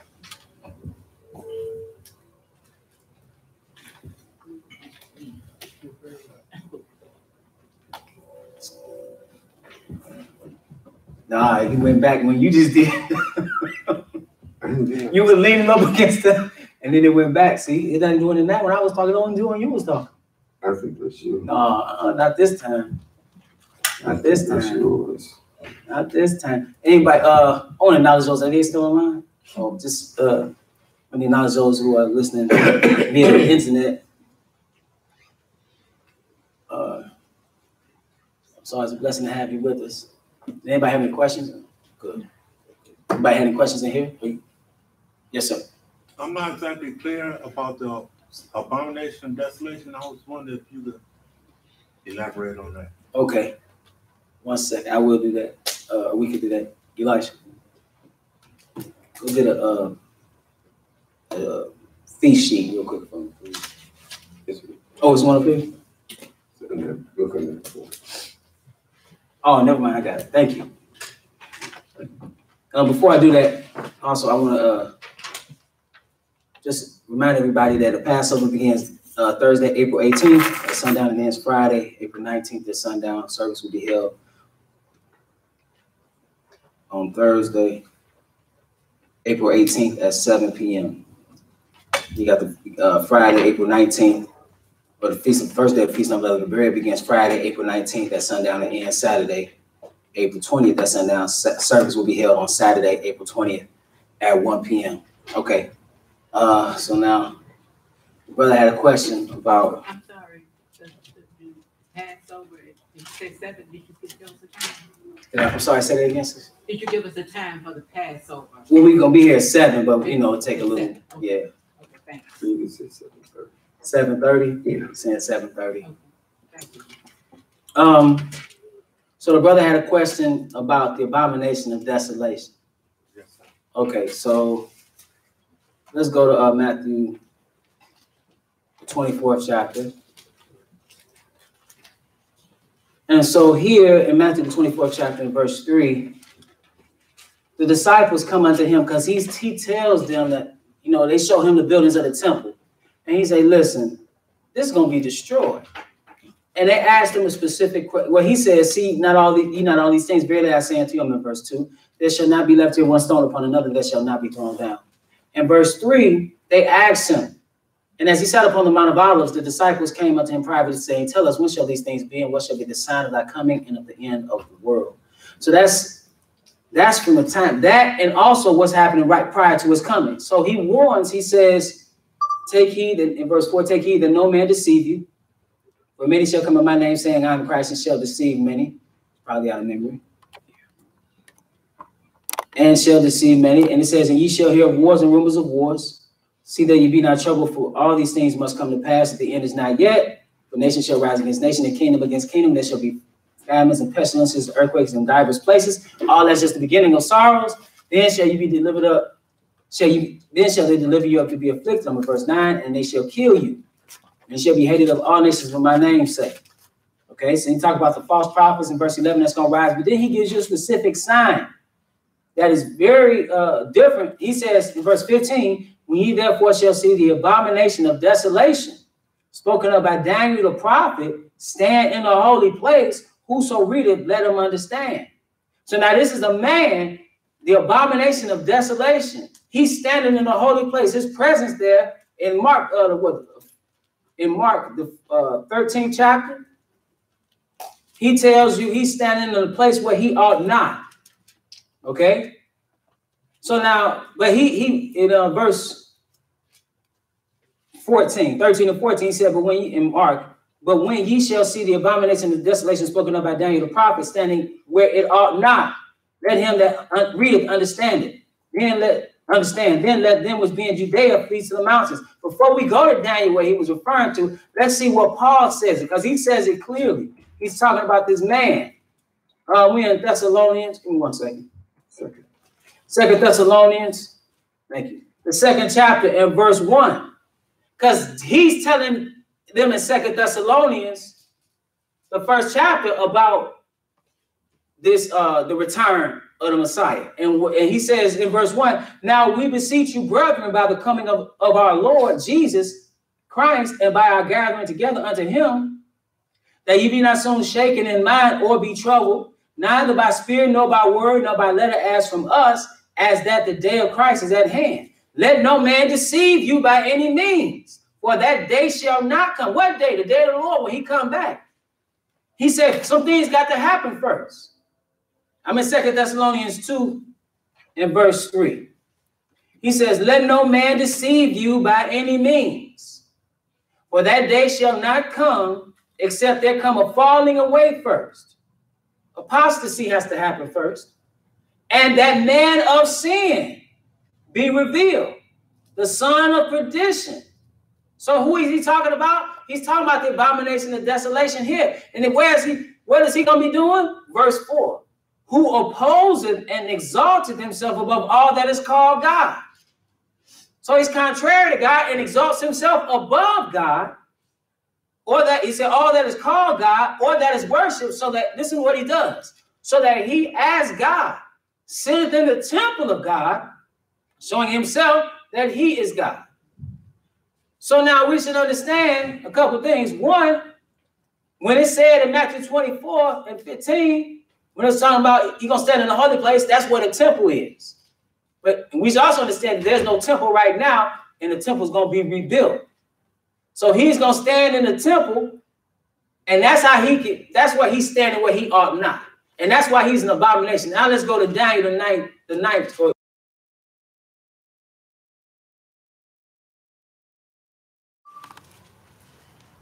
Daniel the seventh chapter.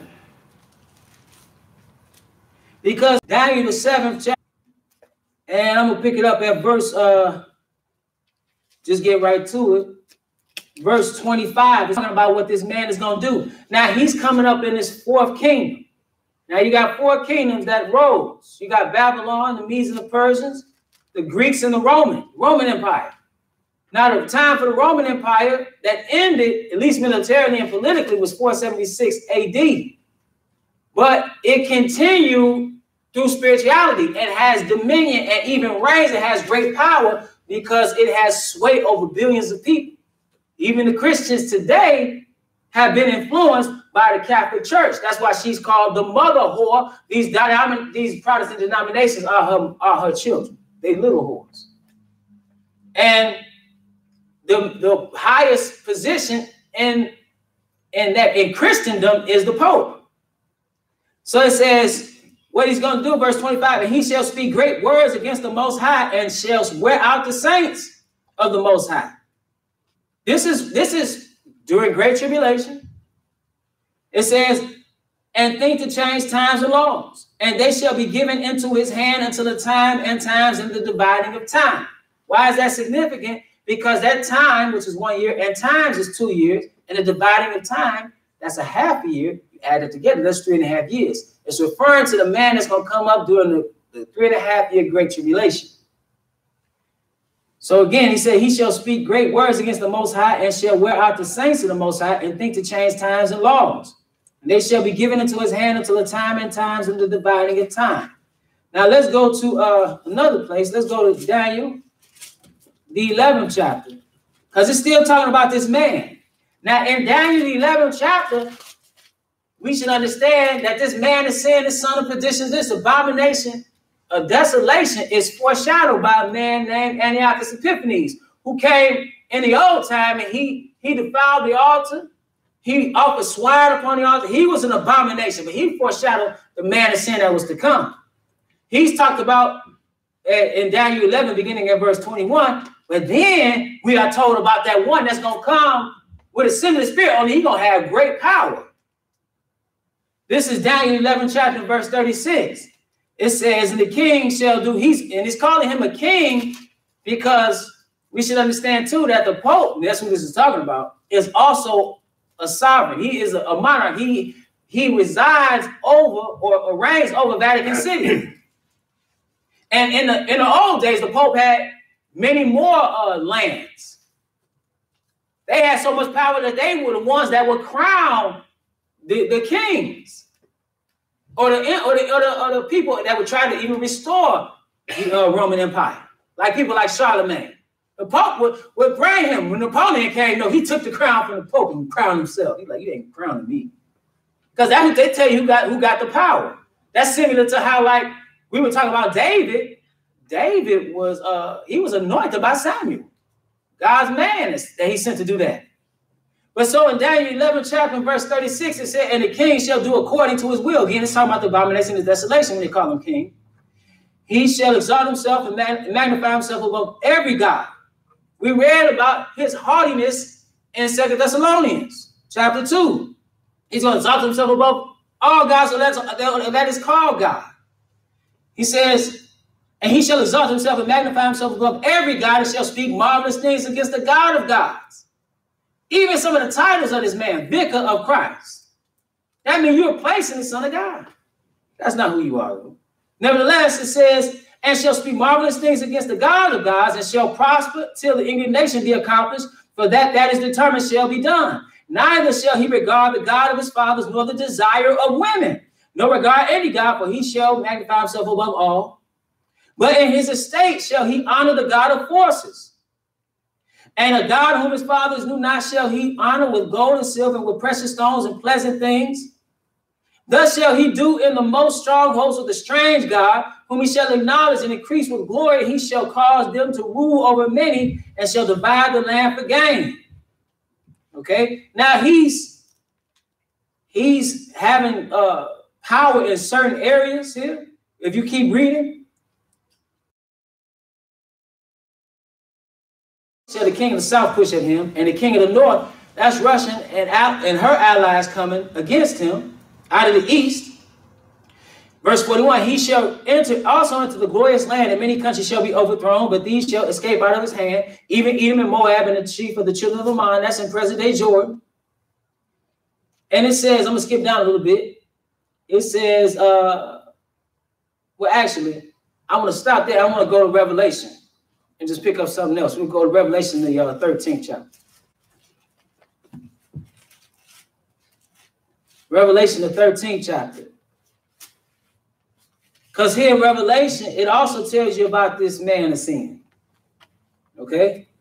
Now, I want to pick it up in verse 1 just to, just to just to point out what I was saying about the Roman Empire. It says in verse 1, and I stood upon the sand of the sea and saw a beast rise up out of the sea, having seven heads and ten horns, and upon his horns ten crowns, and upon his head the name of blasphemy. Now that's talking about the reunification of the Roman Empire.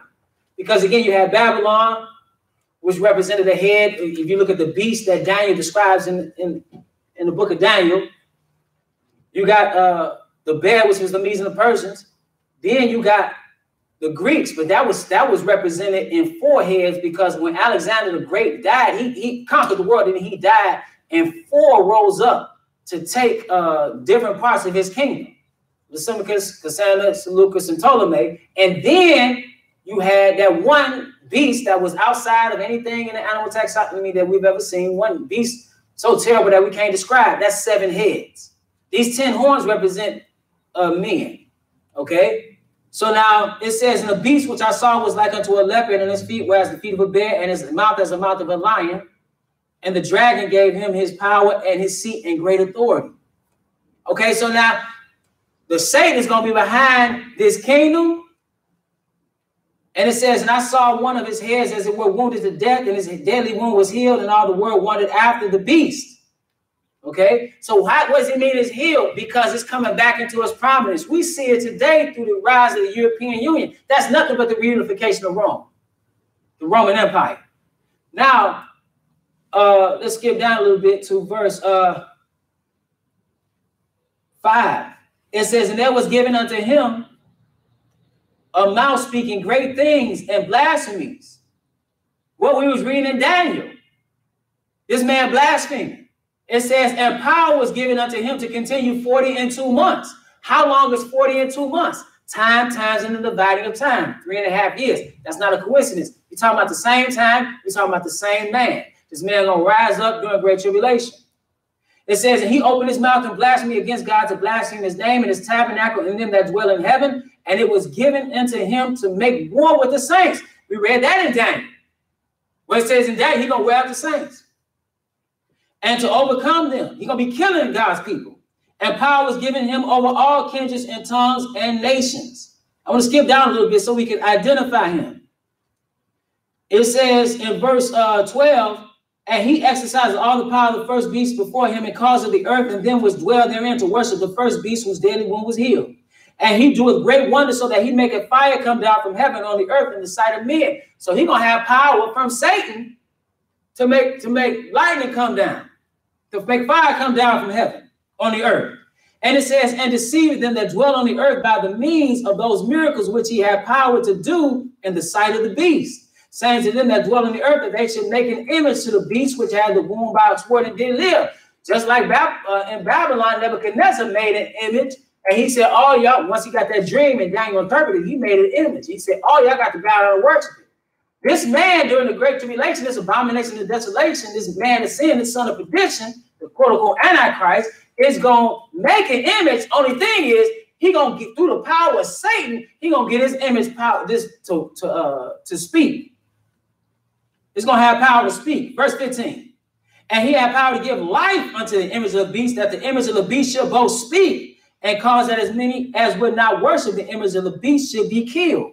So if you don't fall down, just like in the days of Hananiah, Mishael, and Azariah, Shadrach, Meshach, and Abednego, they didn't bow down to their image. They were thrown into the into the fiery furnace.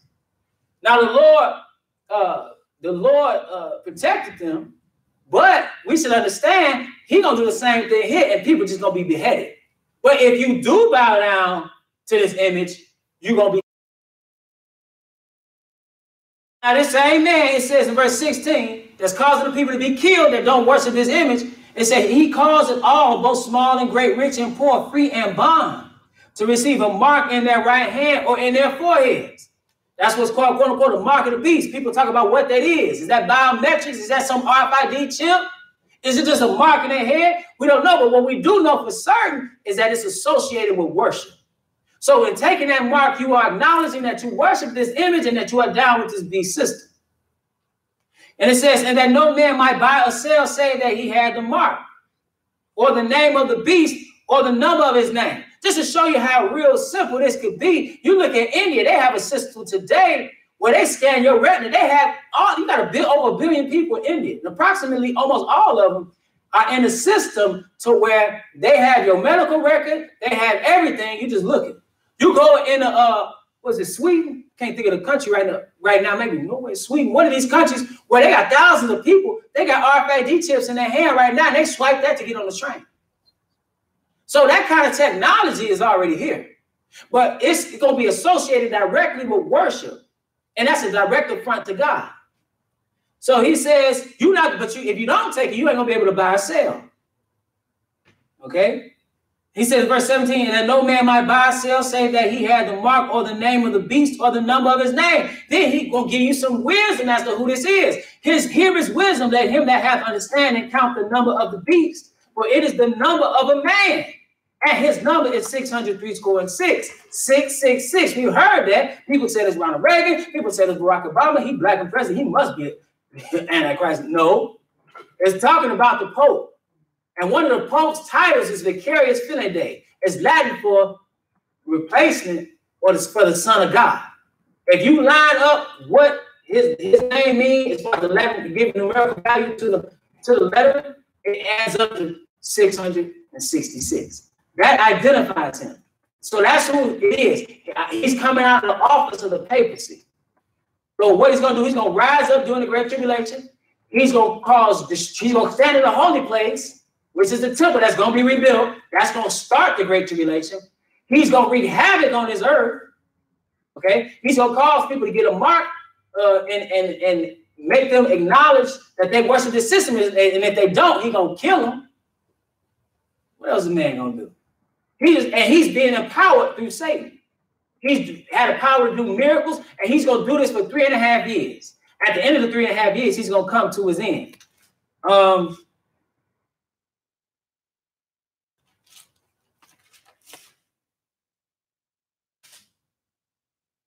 I did want to read one other thing, and then I'll be done because at the time when all this is going on, the Lord does have a place of safety for his people. Real quick, I'm revelating this last place, unless, unless my father has something. Revelation, the 12th chapter, and verse 13. It says, And when the dragon saw that he was cast unto the earth, he persecuted the woman, was brought forth the man child. The woman that brought forth the man child is is talking about his church, talking about Israel, and the man child was talking about the Messiah. The Messiah came up out of Israel as Jesus. Verse 14, and to the woman were given two wings of a great eagle, that she might fly into the wilderness. That's figurative language. She not literally on wings of eagles, but that's talking about the deliverance of God that he's going to have for his people. I'm in Revelation, the 12th chapter, verse 14. That's the that's the uh, deliverance that he's to have for his people during the time of the great tribulation, the time when this man of sin is in power. So it says, And to the woman were given two wings of a great eagle that she might fly into the wilderness. Where it says, into her place where she is nourished for a time and times and a half a time. That should sound familiar. 42 months, time times divided into time, three and a half years. So she's so his church, his people are going to be in the wilderness. He's going to deliver them into the wilderness. And it's not a coincidence that when we read in Daniel, at least I don't think it's a coincidence.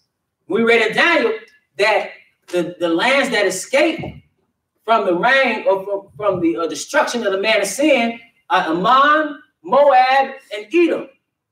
Okay, that's that's a portion of where the wilderness was in Jordan. Okay, so I just want to point you that something. So does that help? Yes, sir.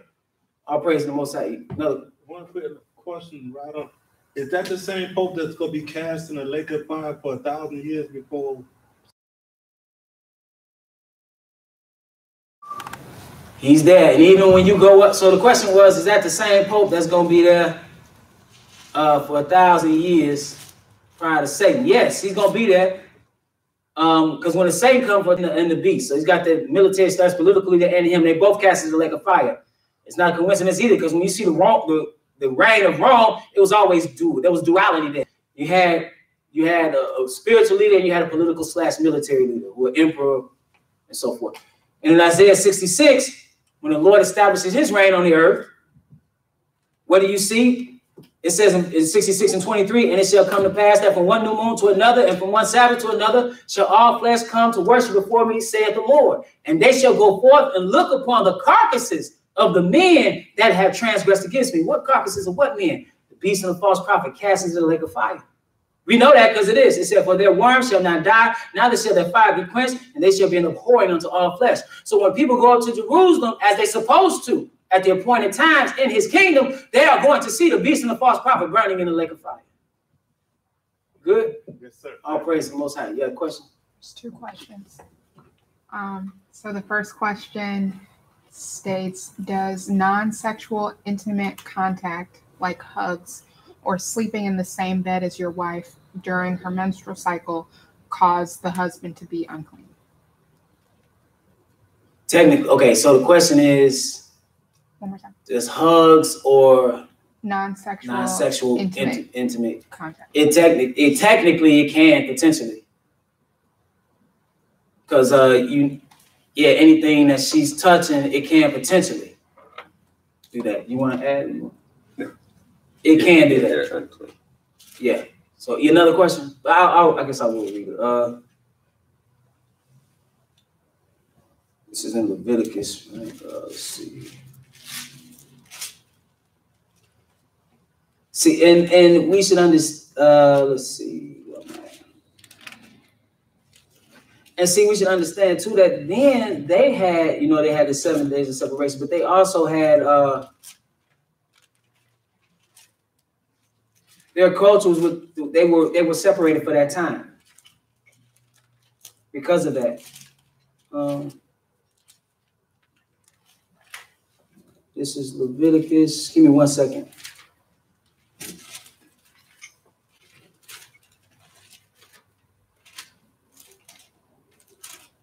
Leviticus, you remember what I said? Leviticus, this uh Leviticus, oh, was 18, but maybe I'm looking at, I know it's in more than one spot. Uh, give me one second. Okay. Leviticus 15, is it? Leviticus 15, let's see. Hold on. Uh, Leviticus 20.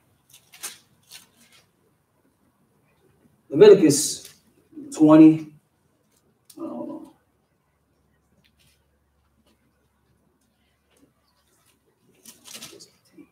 Eighteen. You could do it in fifteen. Fifteen? You do it there. Okay, thank you. Leviticus fifteen. Uh, let's see, and I'm at verse Twenty-five. twenty-five. Thank you. And if, I'm in Leviticus fifteen and twenty-five, it says, and if a woman have an issue of blood many days out of the time of her separation, or if it run, it says, or if it, uh, let's see, or if it run beyond the time of her separation, all the days of the issue of her uncleanness shall be as the days of her separation. She shall be unclean. Every bed whereon she lies, all the days of her issue shall be unto her as the bed of her separation. And whatsoever she sitteth upon shall be unclean as the uncleanness of her separation. I understand. Like I know we do things, we do a we do everything that was given to us. They, you know, when you look into it, sometimes they even had separate dwelling quarters for women um, during that time because of this. Because they were they were a nation that was that was that was steady trying to remain clean because they were dealing directly with the Lord. Um, so when you look at the laws of cleanliness, a lot of laws of cleanliness, and that was one. So yeah, they might have separate quarters for a woman who was who was unclean. Um, is there another question? Thank you. You want to add? I'm sorry. Thank you. You had another question? Um, okay. He said in Amos 2 and 6, is it talking, is it referring to Jesus with the silver? So in 2 and 6, when it says they sold the righteous for silver, is that referring to Jesus? Okay, so uh Amos 2 and 6. So Amos 26 says, Thus saith the Lord, for three transgressions of Israel, and for four I will not turn away the punishment thereof, because they sold the righteous for silver and the poor for a pair of shoes. So what's the question? Is it referring to Jesus selling Jesus for silver? Is, is that referring to Jesus? Okay, um. No. You you got something? No. So I, it, what I think what they're talking about is something else, but uh so no, that's not talking about that. I'm sorry, he's getting ready to go. Tell him to pick up his matzo. Excuse me, brother. Did you need you want some of these uh these matzos here? You want a box? Sure, sure.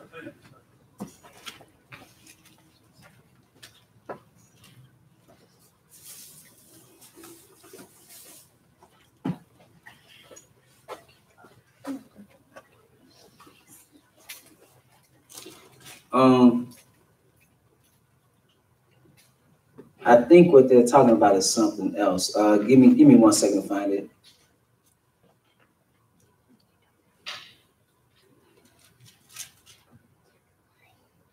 They had unrighteous judgment. You go, you go ahead. I'm fine. No, I was just saying, they had, un- they I were don't think your mic, your mic on? What he's talking about, he's talking about the transgressions of, uh, Judah. And what they were doing, they were supposed to, uh, they were engaged in an unrighteous judgment. So tells in another place like they're divine for hire, doing things, um, and they were doing it to get paid in terms of, as opposed to, even in the administering of the law, even in, in the, in the, in the service of, um, it's just like when Eli's sons,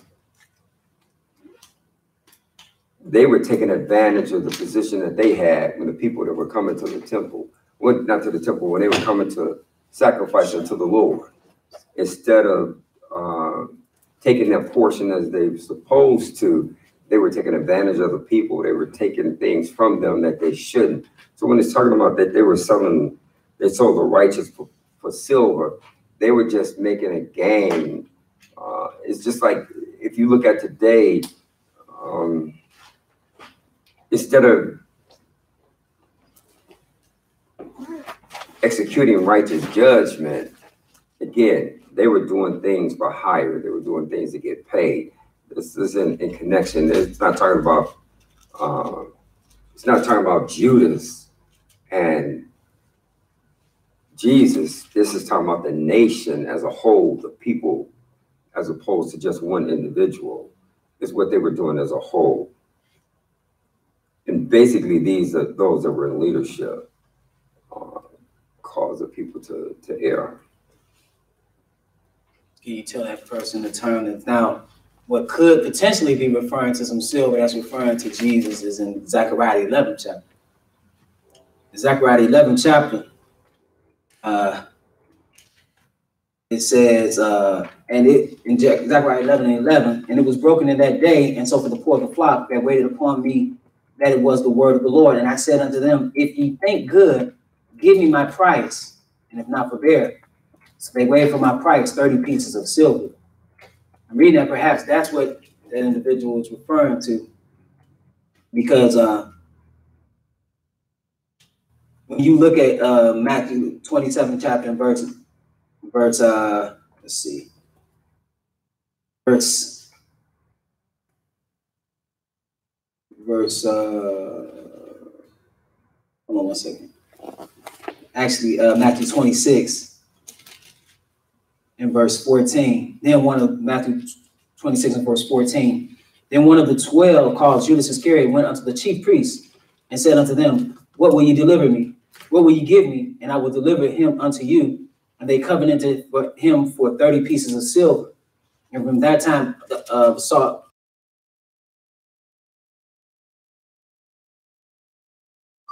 That is the Lord. Huh? That is something of Jesus. That one, but not the other one. Yeah, so maybe is that it? He didn't respond. He didn't respond. Okay. All right. We, we, everybody, did you have something else? All right. Uh, Those, He um, just said thank you. oh, praise the most. High. We pass these out. yeah, Um, pass out these matzo. Huh? Yeah. Thank you.